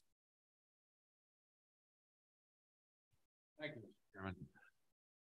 I think there's a, I, I certainly believe there's a public personnel. I, I'd like to hear your opinion on that. And then also, how fast do you uh, authorize a, uh, a land lease situation, if I'm using the right words, for renewables? How quickly does that happen now compared to what it happened prior to this new change of the uh, American Recession Act? Thank you. Uh, Senator Kolb, I, I, would say there's been some new process steps put in place that uh, I, there was a significant delay in getting the new terms out and getting sales schedules set up. As uh, Chairman Boner pointed out there, we had a sale in June of 2022, and it took us a whole nother year. And, and part of that is that understanding is, you know, I want to give credit to headquarters. They worked a lot with everybody to show folks that you can't just say, oh, let's have a sale next month. It doesn't happen that way. So, so we have put that together and we've got a schedule put together. It, it, it takes a year and that's longer than most folks would like. They'd probably prefer two or three months, but the year in reality is when you put in required comment dates, when you put in required protest dates, when you put all that together, it just works out, works out to a year. Uh, regarding most renewable energy right-of-way approval, IL, because going through the process of getting the required plan of development for us to go over the plan development, which identifies those grouse priority core habitat, you know, that's not going to be allowed in there, et cetera. So get your plan of development. We work through that process. Once we've got that BLM process taken care of, then we fold in working with the state agencies and the and the U.S. Fish and Wildlife Service because almost all of our projects have significant eagle issues associated with them. So you've got that process together just to get your turbine layouts done. Then you start through the NEPA process. You've got cultural reviews, et cetera. So uh, I have to say them have been have been fast. You can offer a right-of-way grant let alone approve it. So, so they don't happen really quickly. As to follow up, have you ever not disapproved a project for the killing of eagles? Has that ever been an impediment for a wind project? Is that something you do, or is that Fish and Wildlife that does those permits? So, uh, Senator Kolb, so as part of the process, there's an incidental take that I'm going to say it, it's a mix here. And this is like a very unclear answer in that when you have a project that's a mix of private lands and public lands, a lot of the private land, we don't have any regulatory authority. They've got a voluntary incidental take, which I think a lot of folks now understand the importance of doing that and starting getting it. As far as on the BLM side, I mentioned early, we fold in the Fish and Wildlife Service very early. So number one, we can do, we can incorporate that avoidance and minimization to get there.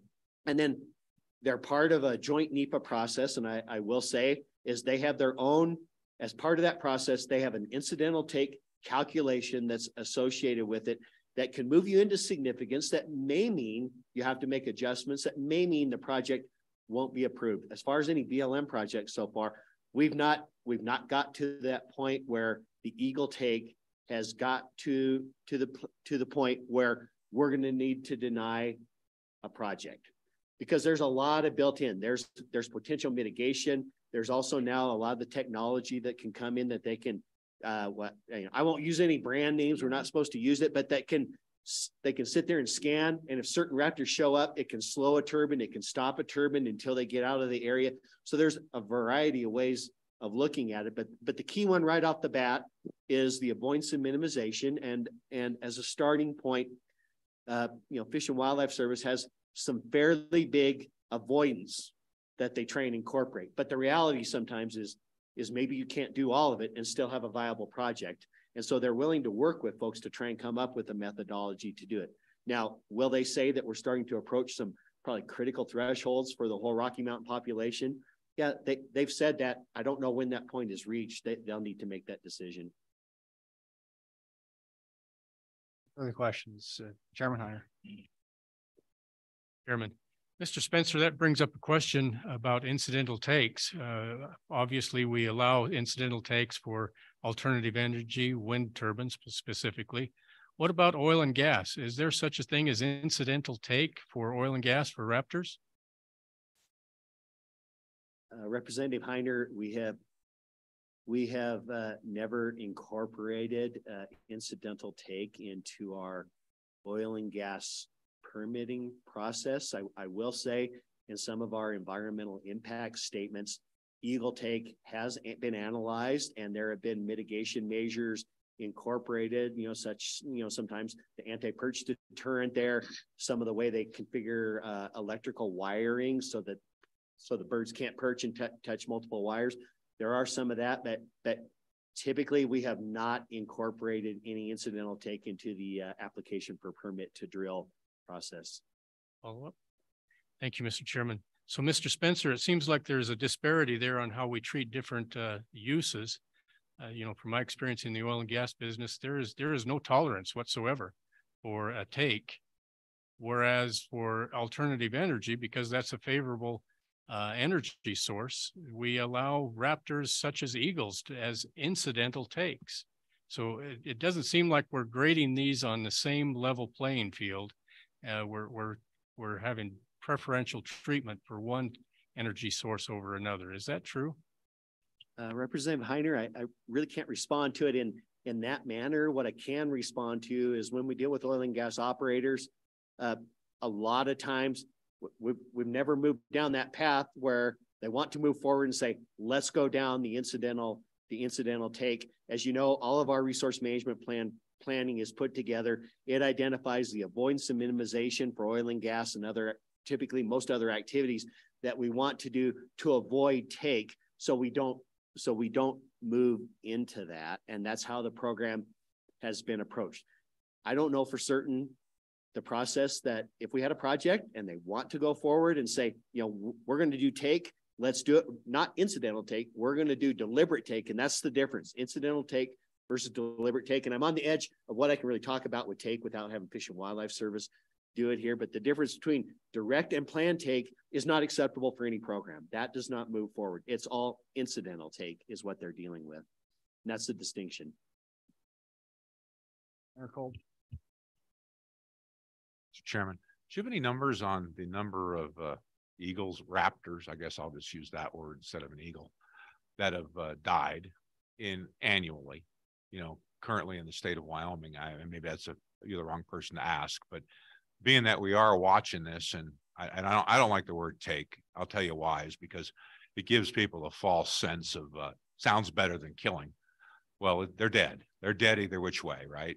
Uh, you call it what you like. I call it you killed. They died, and uh, sure they weren't gunning for them, but they died anyway when they were flying around the turbine blades.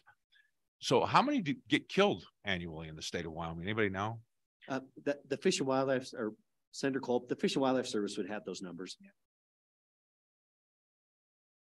I'm sensing a separate topic at our next meeting, uh, but uh, yeah, so, but yeah, we'll try to focus on the uh, oil and gas issue here. And uh, okay, any further questions?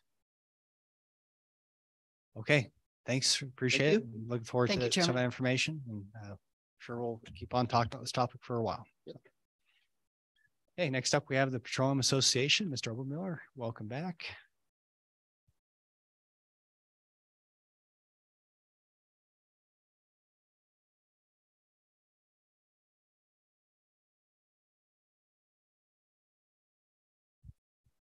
Thank you, Mr. Chairman. Members, Pete Obermueller, Petroleum Association of Wyoming. Uh, Mr. Chairman, what I thought I'd do is just uh, give a very brief overview of where we are on uh, on leasing, and then I wanted to just uh, talk about three topics. I want to um, mention lease deferrals, uh, which will go into the what you were talking about on expressions of interest and uh, et cetera. I want to talk about uh, the BLM's current practice of self enjoining. And uh, and then I want to just give you a very brief update on three major pieces of, of litigation that we're involved in. If that's okay, Mr. Chairman, I'll answer any other questions you might have. Uh, so very quickly on the um, just on the on the overall where are we at with leases in, in Wyoming, uh, we have Wyoming has currently has twelve thousand and fifty one total oil and gas leases. Uh, of those, uh, seven thousand three hundred and twenty six are producing, and four thousand seven hundred and twenty five are considered non producing leases the non-producing leases, of course, is a favorite talking point of the Biden administration. Um, they like to believe that those can be produced immediately. Um, uh, the available and uh, ready to drill uh, language. Um, 2,573 of those non-producing leases are leases under litigation currently, and uh, that will get get into that a little bit more when we talk about the self-enjoining. Um, there's a number of re- reasons why the, the rest, the remaining, may not be producing, um, but uh, which can include, of course, um, moving forward with uh, environmental review processes, um, uh, putting together um, a an actual drillable lease acreage, as I was mentioning to you this morning, uh, having to fit that puzzle piece together. Uh, because you know expressions of interest do not result in an actual release of that of all of those acreage for bidding, even in the in the prior um, prior regime prior to IRA. There's lots of expressions of interest. Um, there's there's really there's no discernible reason why things get picked for a bidding and not from an expression of interest standpoint. We don't have a good explanation for that.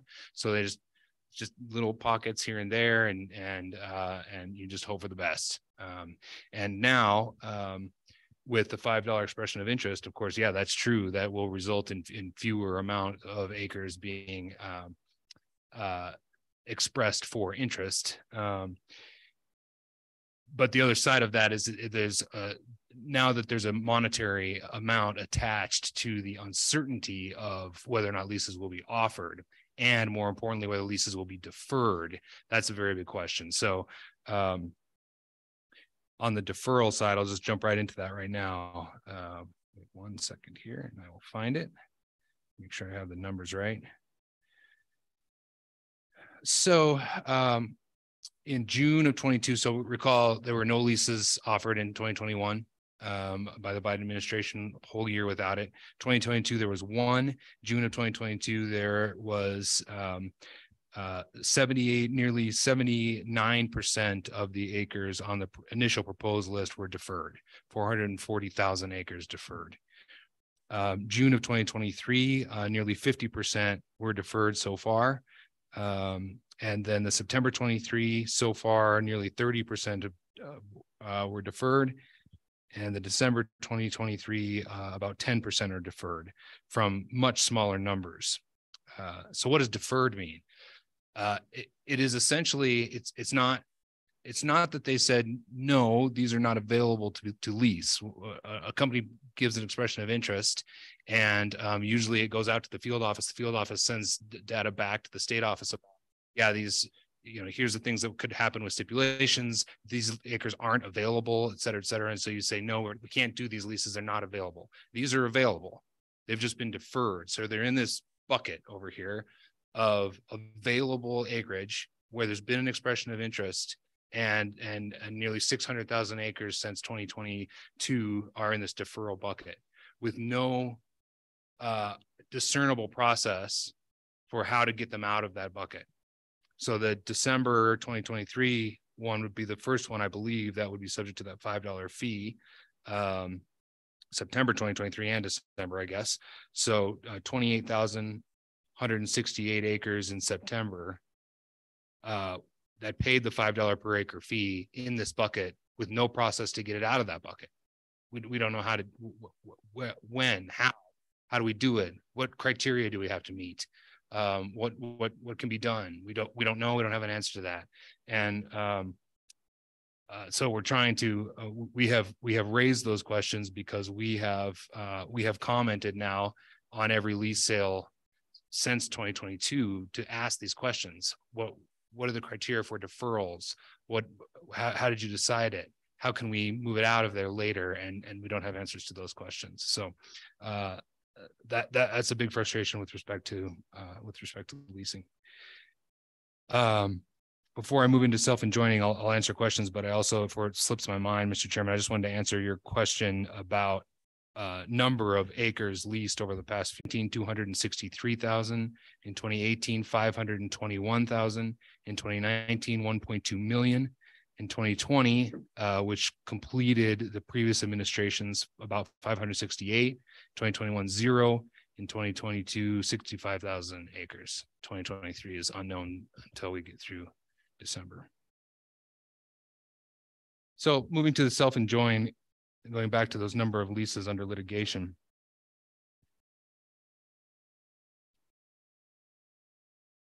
Let's make sure that I have this here. So over the past five or six years or so, 21 lease sales in Wyoming have been litigated, encompassing about 2.1 million acres. Um, in some of those cases, um, the BLM or the court has said, has told BLM you can't move forward. Uh, but in many of those cases, covering a significant amount of acreage, the court has not enjoined the BLM from issuing APDs or from processing what we call sundries and, you know, sort of minor changes um, uh, to either the surface or downhole locations.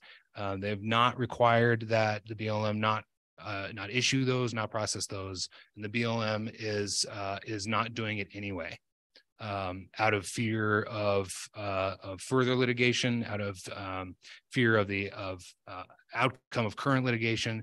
Not not precisely sure, but they're not court ordered to not act, and they're not acting. Uh, that that's a source of a significant frustration. Um, that uh, just recently, Governor Gordon sent a letter to the to the BLM uh, director asking about that um, uh, refusal to process uh, uh, sundries and and APDs in litigated leases where they have not been required to do so. So, uh, Mr. Chairman, I'll just stop on on those two before I move to litigation. There's so much more to say, but I, I'm super cognizant of your time right now. So That update, I think that's very helpful. Uh, committee, any questions? Okay, go ahead. Mr. Chairman, Pete, thanks for the uh little update here. So is there how do I ask this? Do operators prefer to work on BLM versus private? uh, Mr. Chairman, Representative Tarver, uh, private is better nine times out of ten, maybe ten times out of ten. Uh, could you uh explain a little bit why that is? Yeah, Mr. Chairman, um, Representative Tarver, I, I, I think you probably know, I mean, the, um, the speed and with which we, can move through the permitting process and, uh, and, come to agreement is just, um, you know, there's just no comparison. Um, the bureaucratic hurdles, uh, uh, you know, et cetera. So the, um, you're probably familiar, um, with the Converse County EIS project in, uh, in Converse County, um, notably. Um, uh, you know that took that took seven years to develop and it's just you know you're a businessman you know that things change in seven years economics change in seven years so you know dealing with the federal government particularly in uh, when the administration changes and um, the landscape changes the uncertainty is so high the expense is so high the the, the time value of, of money is uh, is uh, it's very costly. So, uh, yeah, it's just it, it's it's difficult, and it puts us at a competitive disadvantage in Wyoming. So that brings me to my next question as an operator. Uh, for one, why would I want to lease BLM? Secondly, I get the lease. There's no guarantee I'll get a permit. So we're going up against several different things here that are to a dis- major disadvantage in Wyoming we have a lot of BLM and uh, how do we promote our operators to lease BLM land when there's really absolutely no advantage to it? Yeah, um, Mr. Chairman, Representative Tarver, I I think you just explained why Wyoming's rig count is what it is compared to Oklahoma and others. It's not that we don't have the resource; we do the Powder River Basin is uh, is a major play with a very desirable resource, uh, but it takes a um, it takes a certain kind of company willing to willing to do it. Um, uh, you know, it's not just it's not just monetary resources. It's um, it's understanding, it's skill, it's it's willingness to work with all these partners uh, to make it happen on federal lands, uh, and and and it takes very skilled operators that can um, drill very complicated wells that are able to still make some amount of money despite all those those added costs. It's it, it, it's tough. We're at a competitive disadvantage. There's no doubt.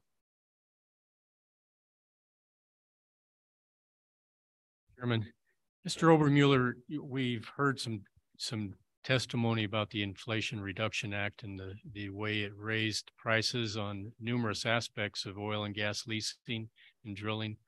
Uh, specifically, the expression of interest costs went up exponentially, but it also the royalty rates went up. Mhm. So as you compare all these cost change, the changes in costs, which was the most difficult for your industry to uh, to take on? Was it the royalty increase or the interest, the cost of expression of interest? Which, which one was most difficult to pilot? You know, Mr. Chairman, Co-Chairman Heiner, that's that's a great question. And I think if you had all my members up here, they'd probably have a different answer. It kind of depends on what your goal is, uh, what your business plan is, what what's most difficult. So obviously, raising the cost of of, of actual production, royalty rates, all those sorts of things are gonna are gonna eat into that. I, I can tell you what I what frustrates me the most and maybe it frustrates me because it really only impacts wyoming and so nobody else understands it and we're too small so who cares? Um, but I, I think what the IRA did and what a lot of what the what the national BLM is doing is um, choking off our ability uh, to be entrepreneurial, to find the new resources, to um, to take a, a great place, test the outer edges of it, um, or the or the northern DJ. So expression of interest is one of those things. Uh, you know, you now that you have to pay for it, there's a little less incentive now to be, uh, you know, for for some upstarts to say, I I think there's something there. You know, the way that the Jonah Field was built. It's not like we know that there was a resource in the Jonah Field. We knew we just couldn't get it out. It never worked until finally somebody actually had had an idea and it worked. Uh, and that that, that that that entrepreneurial aspect of the early part of leasing is what a lot of this took away non-competitive leasing. Um, that that's a big impact for wyoming that i really regret was in that bill is that the non-competitive leasing indicates that like there was um, there's a great play and nobody knew about sole source or something like that. Non-competitive because it went through the bidding process and everybody thought there's nothing there. I'm not going to bid on that piece of dirt and some geologists said, I think there's something there. I'm going to bid on it and and it's going to turn into something. Nine times out of ten, it didn't. But we still paid for the right after getting the lease and the rentals and all of that. So without that, our ability to be entrepreneurial and explore for new resources in Wyoming, I think that's very intentional and I regret that.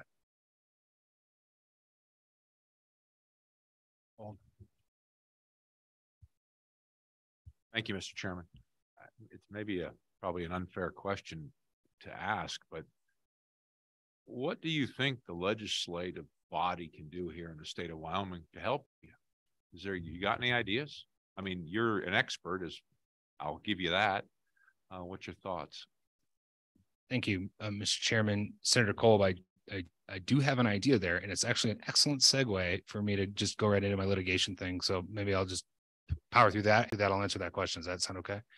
So lots and lots of litigation. I'm only going to cover three. It's the three that PAW is actively involved in. Um, I won't bore you to details with all the you know various jargon, but um, uh, in with our partners, the Western Energy Alliance. Uh, this is the one where we, we were actually we're co-plaintiffs with the Western Energy Alliance, um, suing the Biden administration for not doing quarterly lease sales as they're required to do under the Mineral Leasing Act.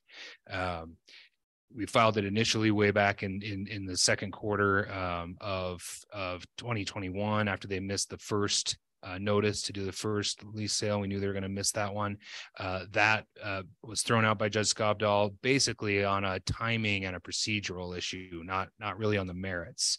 Uh, and so um, rather than appeal on that one, we decided to take a step back and file a new suit. And in fact, we file a complaint every time that the BLM misses one now so that we can clear that hurdle from Judge Skavdahl. Basically took because Judge Skavdahl gave us the arguments about why that didn't work and sort of the roadmap about what to do. And so that so we're following that.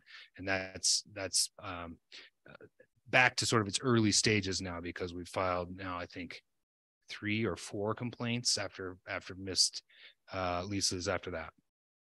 The second one is um, uh, the Center for Biological Diversity versus uh, DOI, and that is um, we are defendant interveners. Um, they've sued uh, obviously the, the DOI, seeking to overturn every single oil and gas permit issued in Wyoming and New Mexico since 2021. So every every permit issued by President Biden's administration, they're seeking to overturn.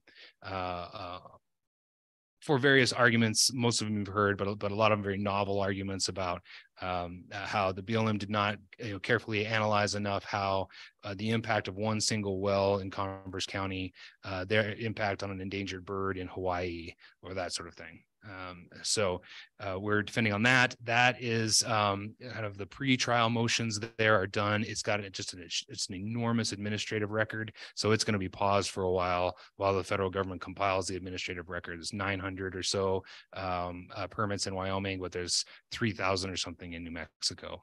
We've filed on that to to separate the two uh, and uh, send Wyoming's to Wyoming District Court, and New Mexico can deal with theirs in, in part to help deal with that massive administrative record. Uh, the third is the Powder River Basin Resource Council um, versus uh, BLM.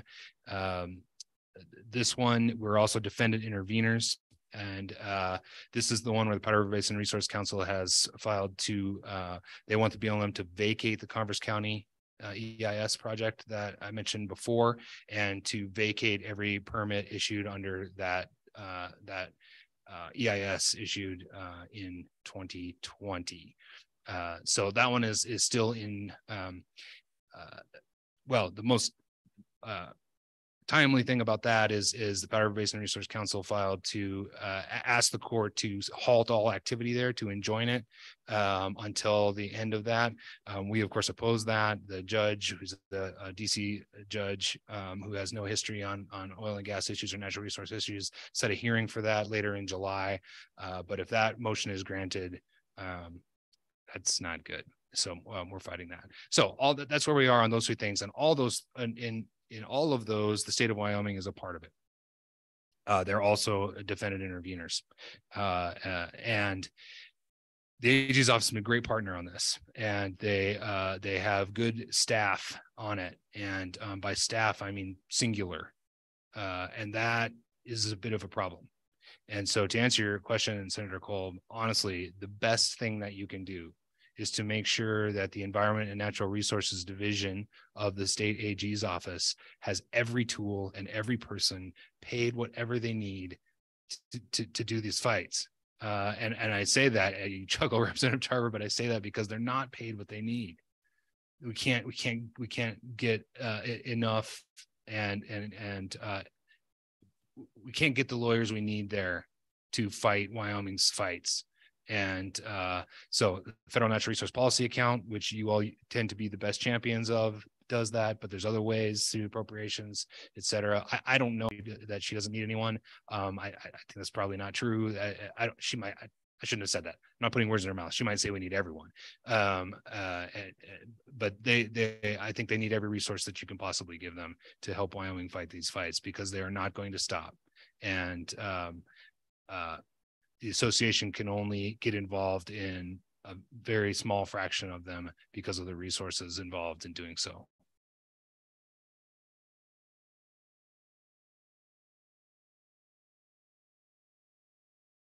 Uh, so be basically, did you say the state is, or are you saying we should try to help them financially, whatever, to uh, arm them with more lawyers perhaps? Is that, uh, would that be the best or?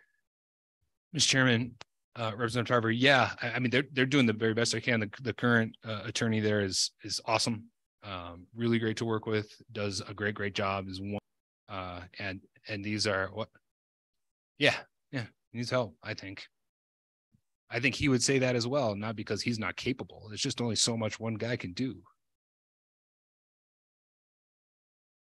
I, I, I almost sure to think how much that salary is versus the, the dollar figure associated with, say, shutting down the River Basin for an interim amount of time, uh, just to the state of Wyoming, much less everybody else that's affected by it. it uh, yeah, I, I think that I, I don't even want to do that math. It's probably kind of scary that, that ratio. Um, so, um, yeah, I think that's certainly something we could advocate for, and uh, you know, talk to our friends on the appropriations committee. As I'm I'm sure they'll get tired of us eventually, but it won't be tomorrow. So, uh, um, so anyways, further questions for the Petroleum Association?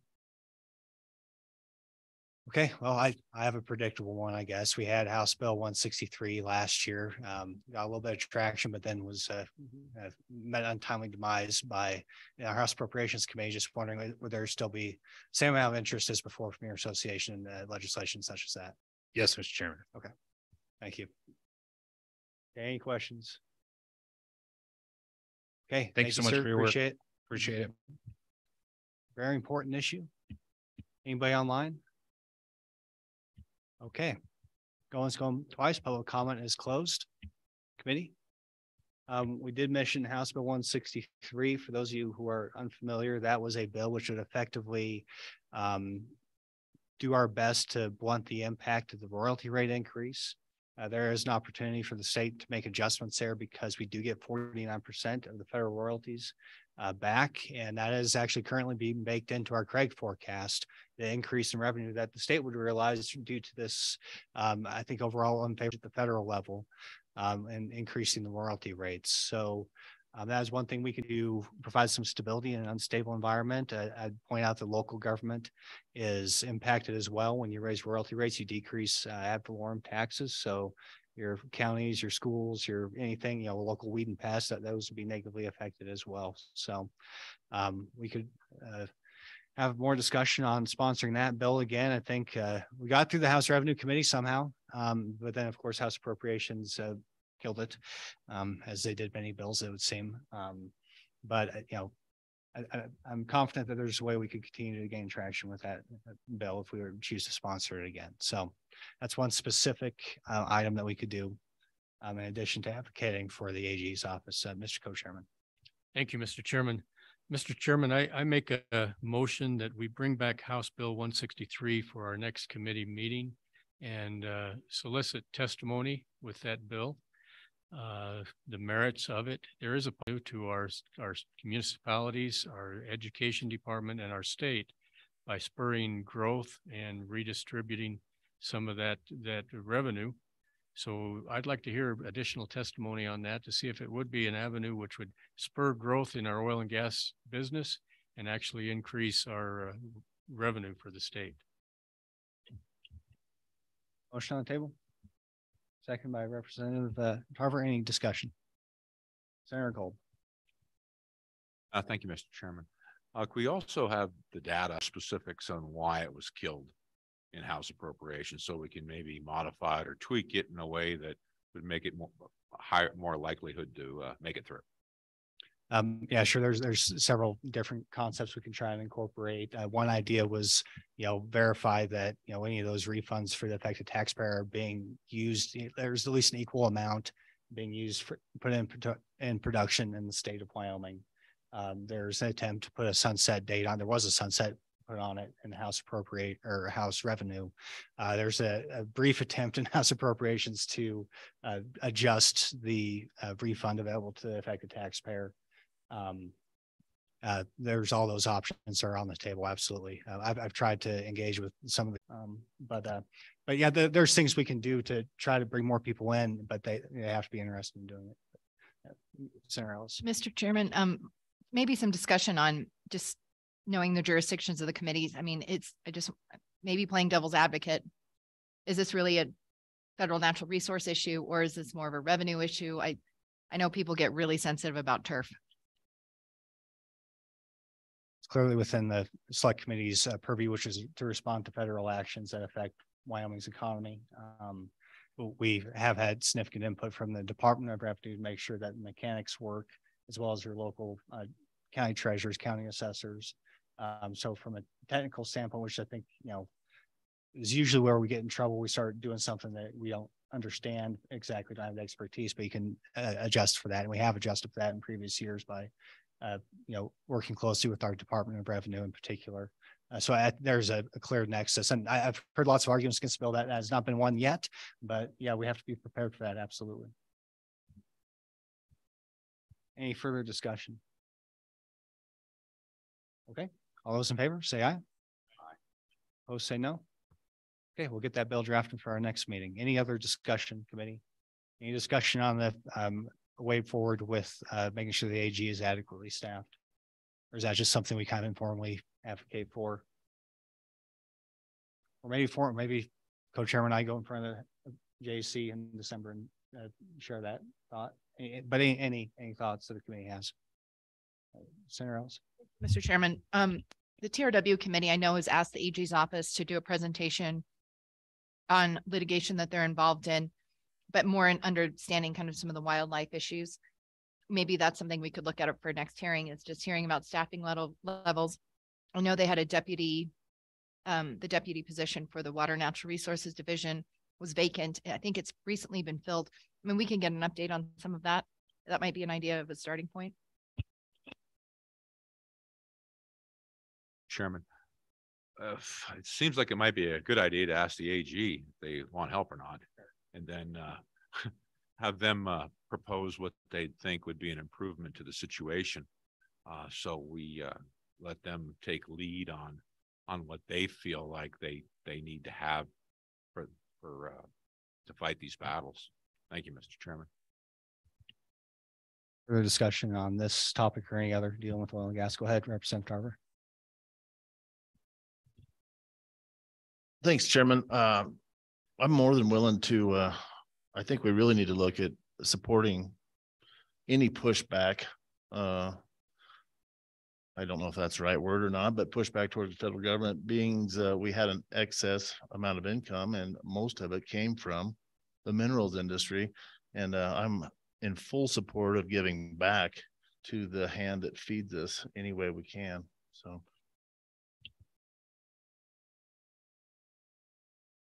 Any further discussion committee? Okay, I guarantee this will be a topic at our next meeting, but for now, and and of course, if you have any input in between, think of something later, feel free to contact the co-chairman. So. Okay, that being said, we'll move on to our two forty topic, only an hour behind schedule. Uh, talk about sage grouse. A little bit more, I should say.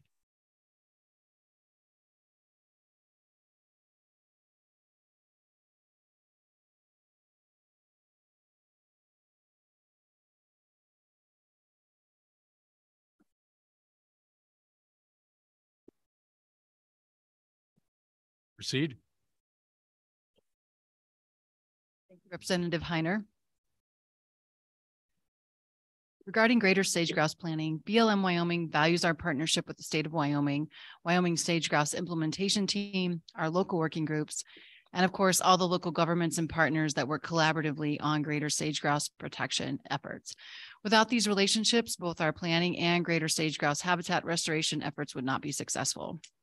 As I'm sure you know, the BLM is currently considering amending our land use plans for greater sage grouse habitat management to account for new scientific information and address continued declines in sage grouse populations and loss of habitat. In addition, the Bureau's policy requires us to take proactive so that they do not require federal protections, and this is per BLM Manual 6840. The current round of planning aims to conserve and manage greater sage grouse habitats on public lands to support persistent, healthy greater sage grouse populations, consistent with BLM policy and in coordination with state governments. BLM in Wyoming is working with our partners to consider modifications to habitat management areas, boundaries, and management, as well as assessing nominations for areas of critical environmental concern and other updates to reflect current information and research. We are continuing to work with the many cooperating agencies to develop a range of alternatives and analyze them in a draft environmental impact statement. The BLM hopes to publish the notice of availability for the draft environmental impact statement for this planning effort in fall 2023. And we look forward to working with all our partners in Wyoming throughout this planning effort. This has been an extremely productive partnership for the BLM and, and the department, and we are committed to continuing it. And we will take questions from here.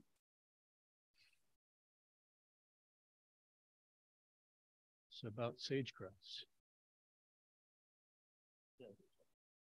Representative Tarver. Chairman. Uh, thank you for that. Uh, just curious, are we trying to add to the protection of the sage grouse uh th- through this, or are we just looking at it as of right now?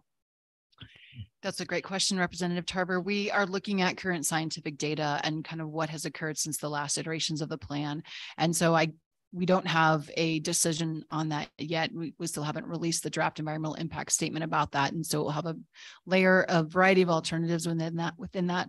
With that being said, our staff has been meeting fairly regularly with Wyoming Game and Fish to kind of share data, share science, and really try to march forward together so that we're agreeing on core and um, primary habitat management areas within the state of Wyoming. So I can't say if we're looking at adding or subtracting because those final decisions haven't been made yet, but we are working very, very closely with Wyoming Game and Fish. They've been excellent. The state has been excellent partners in this, these discussions. Follow up.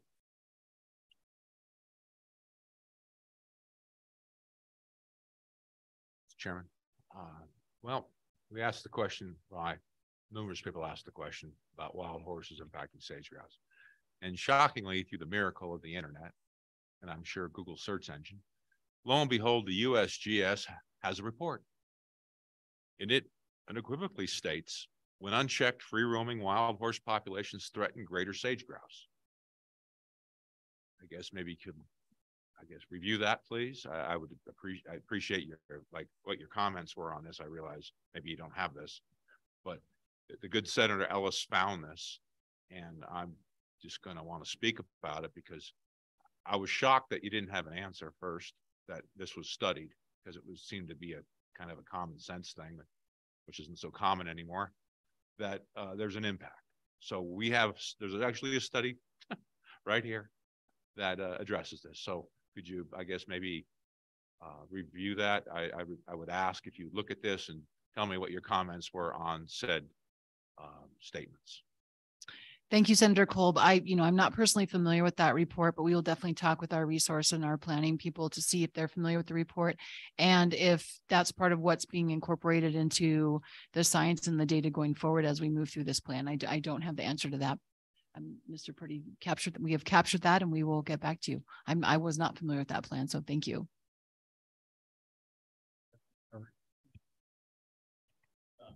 Chairman, thank you. Well, it looks like we might be able to kill two birds with one stone here. If we take care of the horse population, the sage grouse problem might go away. Just an observation there. Thank you, Representative Tarver.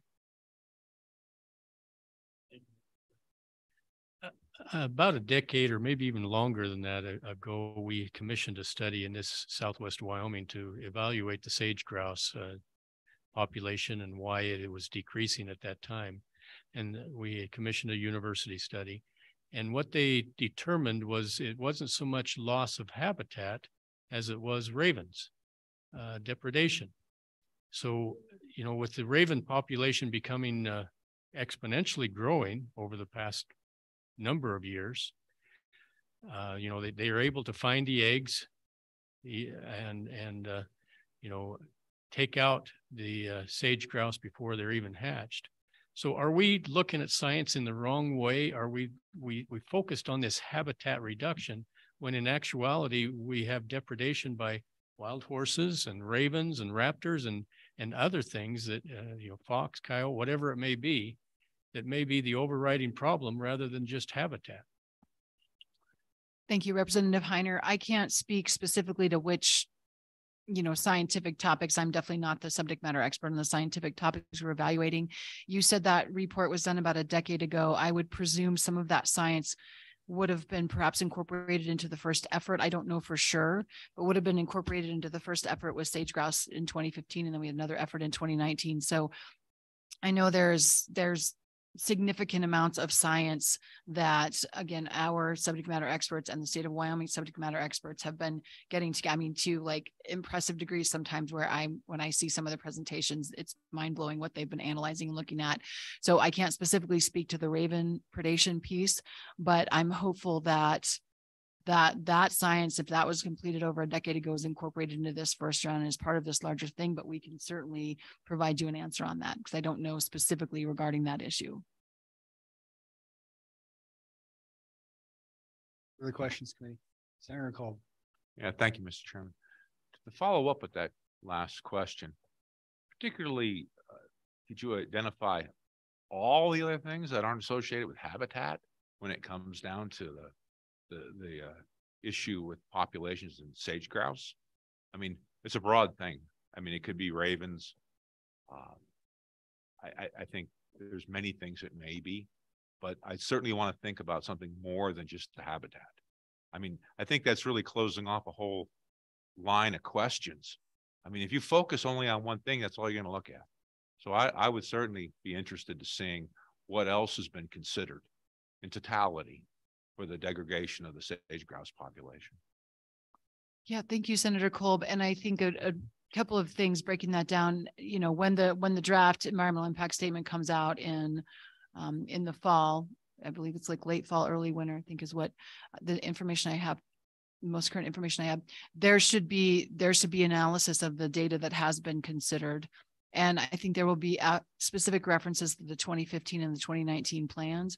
Those plans are also available online and there's, there's analysis of data that are included in those plans. It kind of provides this broader generality. And again, I don't have them all memorized, but provides a broader generality of the data that was considered and evaluated when putting those plans together. So that, that information is publicly available for the prior plans and then will be available when the draft comes out for public comment this fall. Further discussion committee, any questions? Okay, thank, you. appreciate it. We'll look forward to that update. Thank that you, time. Chairman. Okay. Any public comment on sage grouse at this point? Do you have anybody online? It looks like we have the county commissioners come on down. While they're doing that, do we have anybody online? Okay. Sounds good. Mr. Christensen, welcome back. Thank you very, thank you very much, Mr. Chairman, members of the committee. Uh, I know you are crunched on time, but I did want you to know that uh, the County Commissioners Association uh, is participating in not only uh, work uh, with local working groups and their mapping effort, but also with the BLM as a cooperating agency.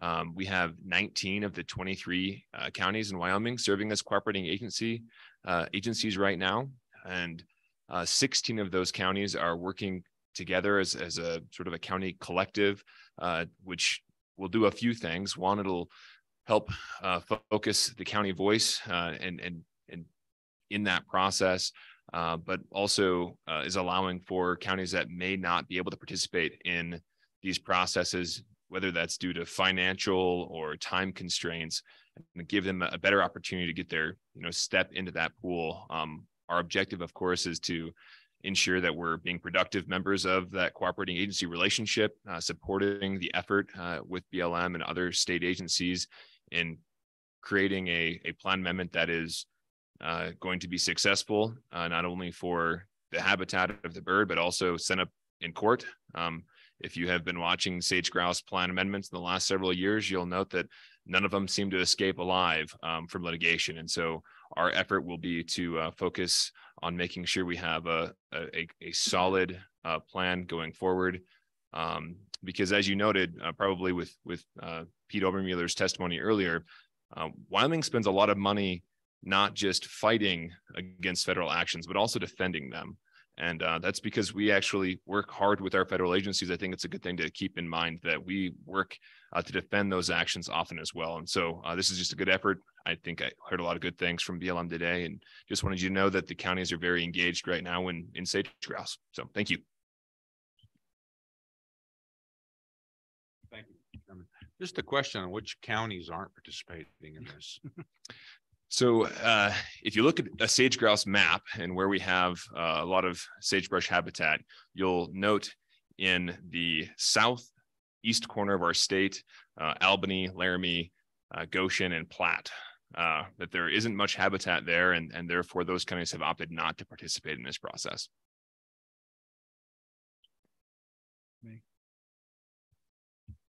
Okay, thank you for your organization's continued efforts. Thank you. Okay. Representative Knapp, come on down.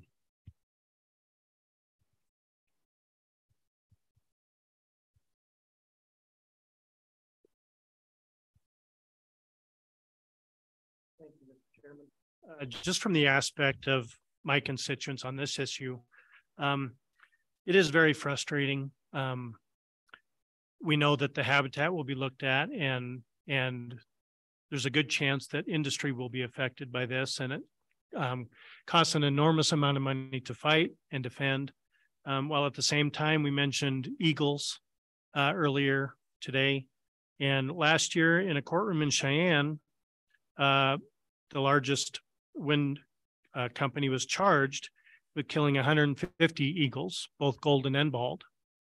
Um, birds roughly per year, about 500,000 birds a year, 300 golden eagles a year. Um, and there's not one study is affected by the killing of or taking of these birds. So I just want to want to represent the frustration that uh, many in the mineral industry feel. Um, I know if if there was a eagle's nest at one of the mines, the mine would shut down until that that is resolved. Um, And so i- it is a frustrating situation to- to have this um, with a bird that is typically gone in cycles in population itself. Um, s- it's tough to keep sage grouse alive in captivity um, with uh, programs that we've had in trying to breed the bird. So just wanted to uh, reflect that frustration amongst the constituents. Thank you. Representative Knapp. If he just leaves, but. Okay, any further public comment on grouse issue? Okay. Looks like public comment is closed on this topic committee. Any further discussion or motions? All right, sounds good. Yeah, part of what this committee does is we become educated on these important issues so we can share it with our colleagues. So that's, oh, go ahead. So I went to, thank you, Chairman. I went to one of these meetings and uh, they did talk about oil and gas as being the biggest uh, problem with the sage grouse. We didn't talk about fox. We didn't talk about coyotes. We didn't talk about any predators, ravens, et cetera, et cetera. Uh, we seem to be, and I think, uh, I don't know if it was you or, or Senator Kolb that alluded, we seem to be focused on it's only one problem. And I think that's something everyone should uh, be thinking about. We, the discussion didn't even open up to the predator problem. So it'd be interesting to see the difference, say, when we ban certain chemicals for, uh, you know, controlling, uh, uh, predatory birds, for example, I thought we saw a corresponding decrease in the sage grouse population, for example, it'd be not proven, but there's definitely a strong correlation there. So, and it does remind some other issues that we've had on this committee, say with migration corridors, where lo and behold, all the studies for some reason on migration corridors deal with oil and gas development, when we all know that, you know, everybody having a lower forty acre piece of heaven outside town, subdividing previously open ground seems to have a bigger impact. But uh, um, yeah, it seems to be uh, it, takes years, it seems, to build these narratives, and there's studies that, that support those narratives with that in mind. It would seem, and this isn't the only issue, unfortunately. It seems to uh, target a particular industry. So, any further discussion, Senator Kolb? Yeah, Chairman. I'd like to add about the raptors. I, I think the unique biology with those uh, birds, they're very slow to reproduce. And, once you devastate a population or have an impact, it, it's a it's felt for a long time. And I, and I, that's what I'm mostly concerned about. I mean, it turned a blind eye because we're all of a sudden so concerned about the so-called renewables and how how it's so good, but yet for an action that if I went out and shot an eagle, I'd it's a federal charge, I believe. And yet you can whack them up and chop them up and knock them on the ground and count them as a as a, uh, a fatality of uh, the great green energy revolution. And I, I just don't believe in that. I, I think it's I think we don't look at it fairly, and it's just not fair. So I, I just uh, like to know more about uh, I guess if there is something we can do, and I don't, I don't know. I'm certainly, I appreciate the information though, Mr. Chairman. Go ahead, Senator Ellis. Mr. Chairman, I just want to offer some comments on that. Um, you know, the word take is a term of art used in the Endangered Species Act, and it's meant to encom- encompass something broader than just killing the animal. You know, if you're trying to harass an animal, maybe you tried to kill it, but you were unsuccessful. I mean, that term is meant to cover something broader. And so I understand the, the point that maybe, you know, the perception that, you know, benefits from that. But the, the difference you just described of um, going out there with your intent to go kill an endangered species is different than something that, that lacks maybe the intent. So even if you disagree with that, like the Endangered Species Act does contemplate, like if you're out in the wilderness and you encounter a grizzly and it's you or the grizzly because you weren't going out there with the intent to kill it, you were defending your life. So I just want to be a little cautious and and just think, just thinking about the word intent and why that language is there. And it it works there in positive ways too. Um, so just a thought. One more comment, and we, we do have to move on at some point. Thank you, Mr. Chairman. So I'll, I'll defend my point of view about take, and I'll say this. You got a tip speed of hundred and twenty miles an hour on those turbines, and you're a Raptor flying around. I feel it would be just ludicrous to think that wasn't gonna develop into the death of said bird. Uh, that's my point of saying that. No, a gun isn't out there shooting them and aiming for them, but you've in fact set up a situation where it's inevitable, inevitable, they will be killed. And that's why I think it's appropriate to use the word they, they were killed. Thank you, Chairman. Okay, so we'll move on. Um, State Federal Land Exchange. Um, BLM, you're up uh, first, and then uh, I think we have Representative now. We probably should put you on the agenda. You'll, you'll go after the BLM. How about that, Representative? And then we'll move on. Okay, come on down.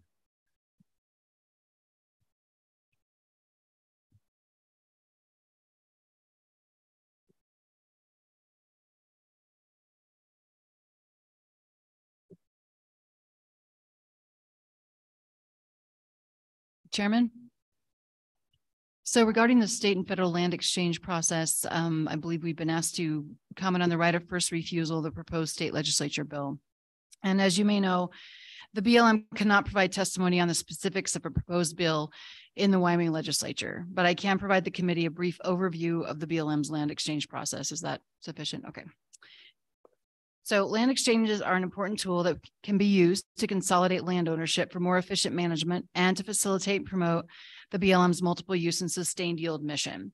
Most land exchange proposals are initiated by non-federal parties and are fully developed through, they typically involve a substantial investment of time and resources by both federal and non-federal parties and are often highly complex. If the land exchange proposal is accepted as a result of the feasibility assessment, the BLM will determine the processing costs, which would be outlined in an agreement with the exchange party.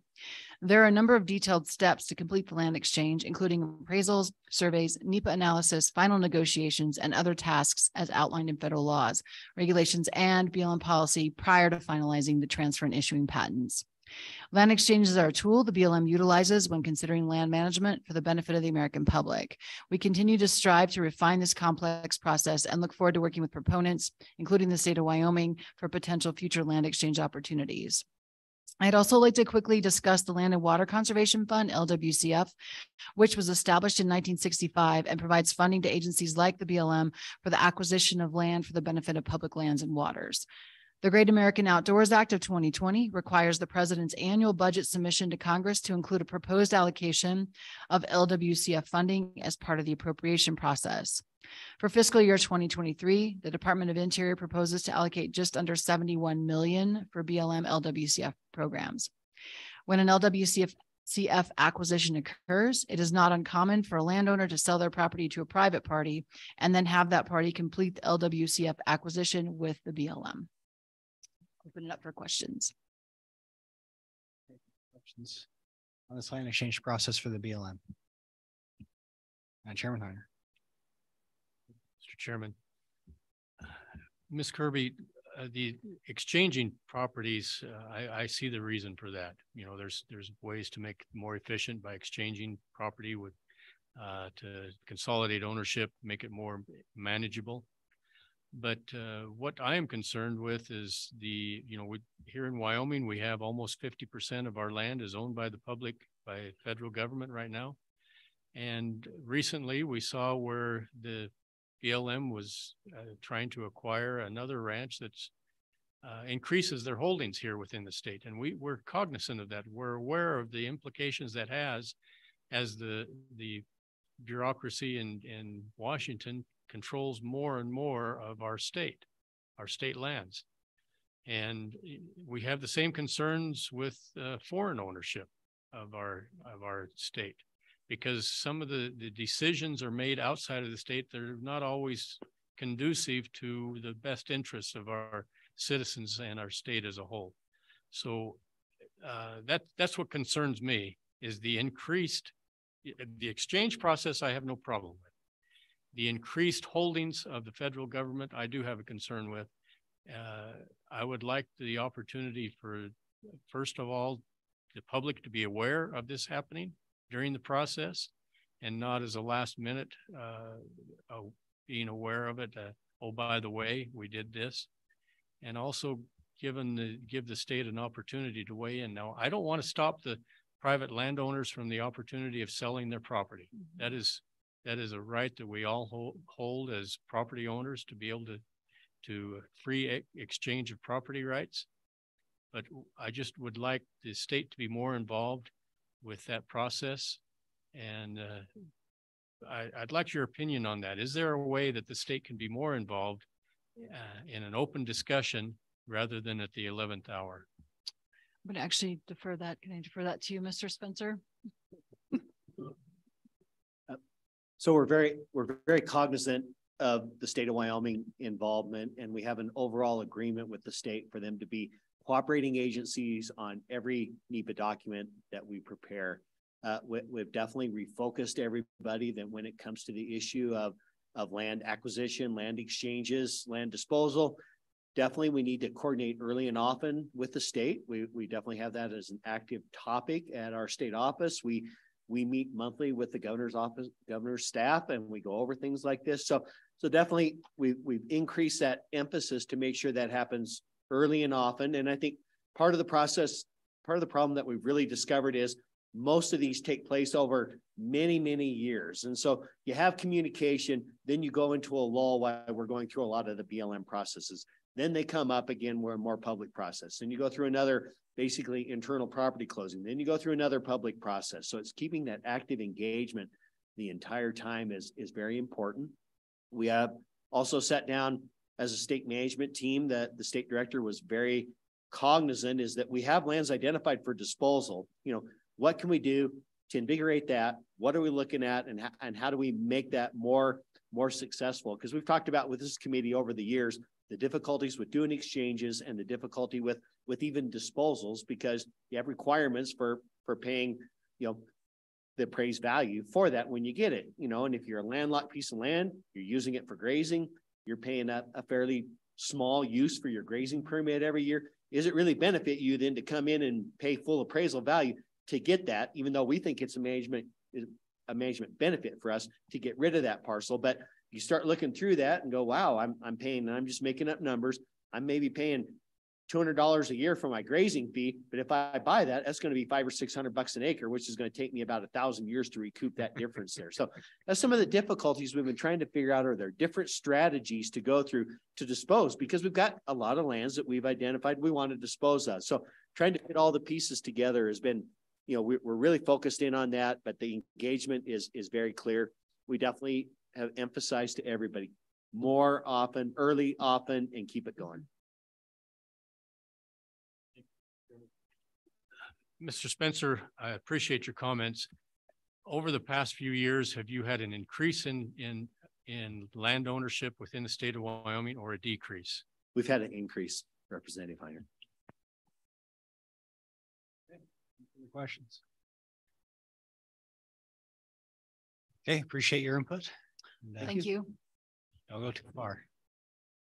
Okay, Representative Knapp, uh, we're going to switch up a little bit uh, and then we'll get to state lands. Uh, you had a specific uh, bill dealing with this issue um, last session. And I'd just like to give you the opportunity to come on and uh, provide your perspective.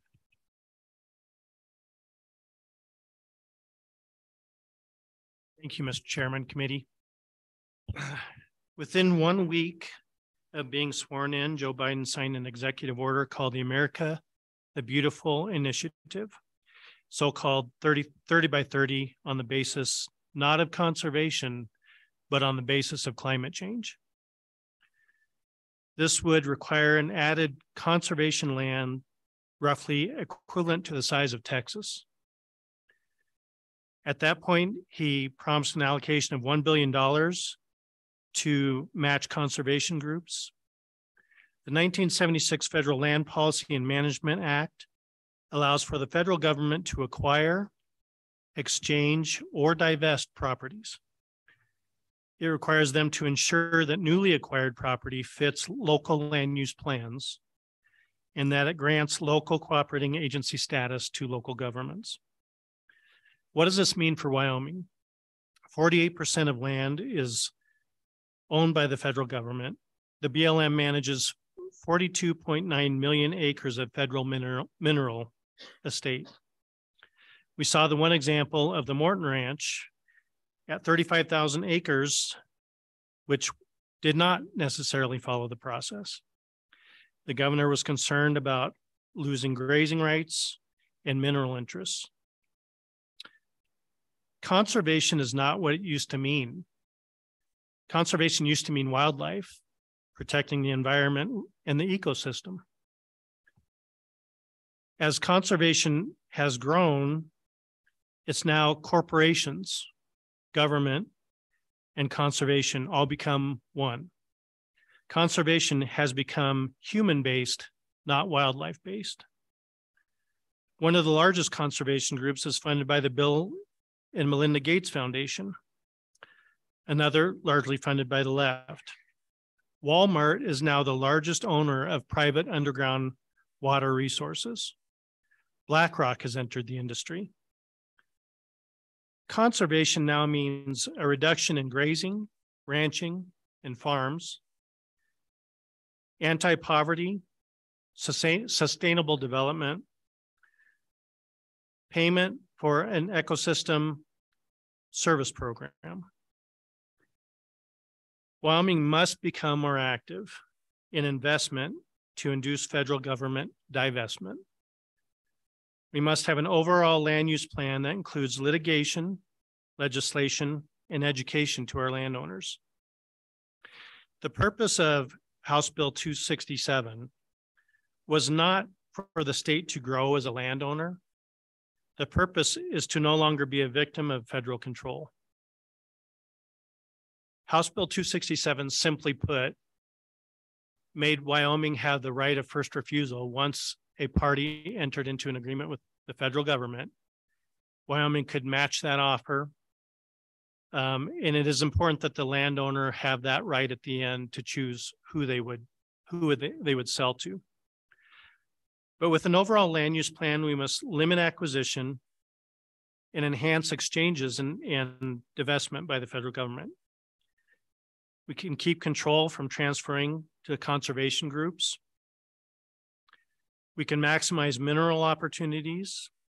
We can move towards access of public lands, protect military installation from foreign governments, protect grazing and livestock,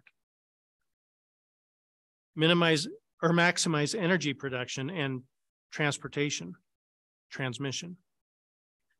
We can stop early closures, and monopolies regulated by the government. So this went before the Appropriations Committee, and they actually uh, tabled the bill and looked for a committee. They were very interested in the idea, but they looked for a committee that could take this on because at the time we had foreign government bills, um, we had grazing bills, we had access bills, we had all of these bills. And the idea was to put it all together under one committee to develop an overall land use plan that deals with preventing Wyoming from our mineral mineral industry, our access, and and the things that we need to be working on. So with that, I'll take questions. Chairman, Representative Knapp, uh, if we had such a uh, statute of first right of refusal, if it was already enacted, and something similar to this ranch that you were talking about, 35,000 acres, we would have to come up with that kind of money. What, how much money would have that cost the state to, to purchase that ranch versus the federal government? Uh, just wondering what kind of money we need to set aside to be able to exercise a first right of first refusal. You know, it varies, and that was one of the um, other parts of the bills is what we would draw from, what money we would draw from to do this. Um, one could be our our wildlife conservation trust, um, which is uh, pretty flush with with money and and works towards those conservation type easements as well. Um, but I would suggest that that's part of the the solution for this committee too, is to is to look at where that would draw from, if if not a multitude of of accounts. Um, I looked up a couple a couple examples. The Diamond Ranch up for sale is 800 acres, but it's surrounded in the Shoshone National Forest on three sides by federal land, um, which actually makes it more expensive. Um, that's 71 million. Uh, Kanye West has his has his up for sale, 9,000 acres. However, 5,000 of those acres are leased back to the federal government. So it would depend on um, estate by estate, I would say. of what makes sense, which which falls back to Wyoming needs to have a more controlled land use plan, an overall land use plan, because uh, similar to the Occidental sale, um, just opportunities where we can trade with the federal government for land in in let's say land that's surrounded by uh, federal forest already for mineral rights in the Powder River Basin. Um, this is the type of, of logic that I used with, with the bill, and hopefully that can cover a lot of different areas and a lot of different bills. Chairman, I, I'm curious to know, sorry about that. Representative Knapp, how would you respond to this? Um, you have a landowner who really enjoys national forests and they want their land, you know, maybe it's adjacent to one, and they really believe strongly that their land should be part of that system. Um, and maybe they've had horrible interactions with Wyoming Game and Fish, Office of State Lands, whoever. And they're for whatever reason, they don't love the state of Wyoming, but they really believe in having the, their lands added to like a national park or a, a federal system. And so, how do we justify that landowner and their rights to sell who to whoever in, in any other context? They can sell it to whoever they want to um, I'm just worried about us assuming that we're always better when maybe the landowner with their private property rights say, yeah, I disagree with you. But now, now the state of Wyoming's telling them, no, no, we're better. So, I mean, then are we guilty of doing the very thing that we dislike so often from the federal side? How uh, Mr. Chairman, Senator Ellis, I, I agree with you.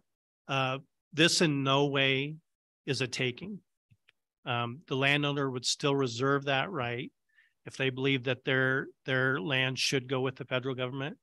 It just gives us the opportunity to match the offer or actually enhance the offer or if a if a person actually wanted to sell to the state and negotiate a lower offer they could. But ultimately that landowner's rights are paramount and the state of wyoming would not be involved in a taking. Follow up. Not saying a taking saying, you know, maybe the state of Wyoming will negotiate a better rate or better offer. There, you know, the Forest Service says we'll give you two million, and the state of Wyoming's like, no, we really want this. We'll give you two point five. But the landowner's like, yeah, I'm free to choose who I sell this land to. Wyoming, no, even though you're asking for more, you'll pay me more. I don't like you, Wyoming. I want this to be part of the Forest Service system. That's the part that this doesn't allow that flexibility as I read the language. Representative of the of the current bill. Oh, I'm sorry, Mr. Chairman. And go, may refer what you repeat the bill number that we're referring to. Uh, two sixty-seven, Okay. Mr. Chairman, Cool. House Bill. Go ahead. As the, as the bill reads currently, absolutely, that's what you would read into it. Um, this was part of the, um, pullback and tabling of the bill was to put, put in the assurance that a landowner would have that right um, ultimately in the end to choose whether they wanted to sell to the federal government or to the state government um, in that instance. And just real, follow, so I understand also, is there other elements of this broader discussion being been assigned to other committees? You mentioned, you know, foreign ownership of land, um, or is this, or what, what, what's the committee assignment for the interim based off your understanding?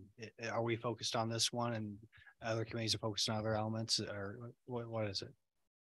Mr. Chairman, yes. Um, they felt that this committee would be the appropriate committee to handle this. Um, ag was mentioned as well. Um, and uh, of course, it involves going back to appropriations um, for the funding source. But um, just as an initial um, look at this concept, this committee was the one that was selected.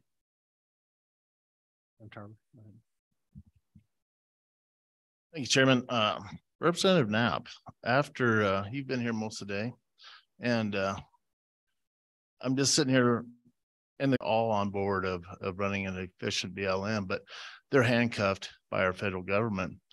So my point is, is, you know, we can go here and we can look at the, uh, the Forest Service. You know, they can't manage the forests. Uh, we go to the, the chickens, we go to the horses, we can't manage the horses because they're all handcuffed by some reason from the federal government. So I guess my question is, are you just trying to, with this bill, basically allow Wyoming to bring Wyoming lands back to Wyoming So we can locally have more control over our state versus giving an option to go back to the BLM, which they're already handcuffed. They're having difficulties managing what they've got. Mr. Chairman, Representative Tarver, that is correct. I, I feel like Wyoming needs to start controlling its own destiny.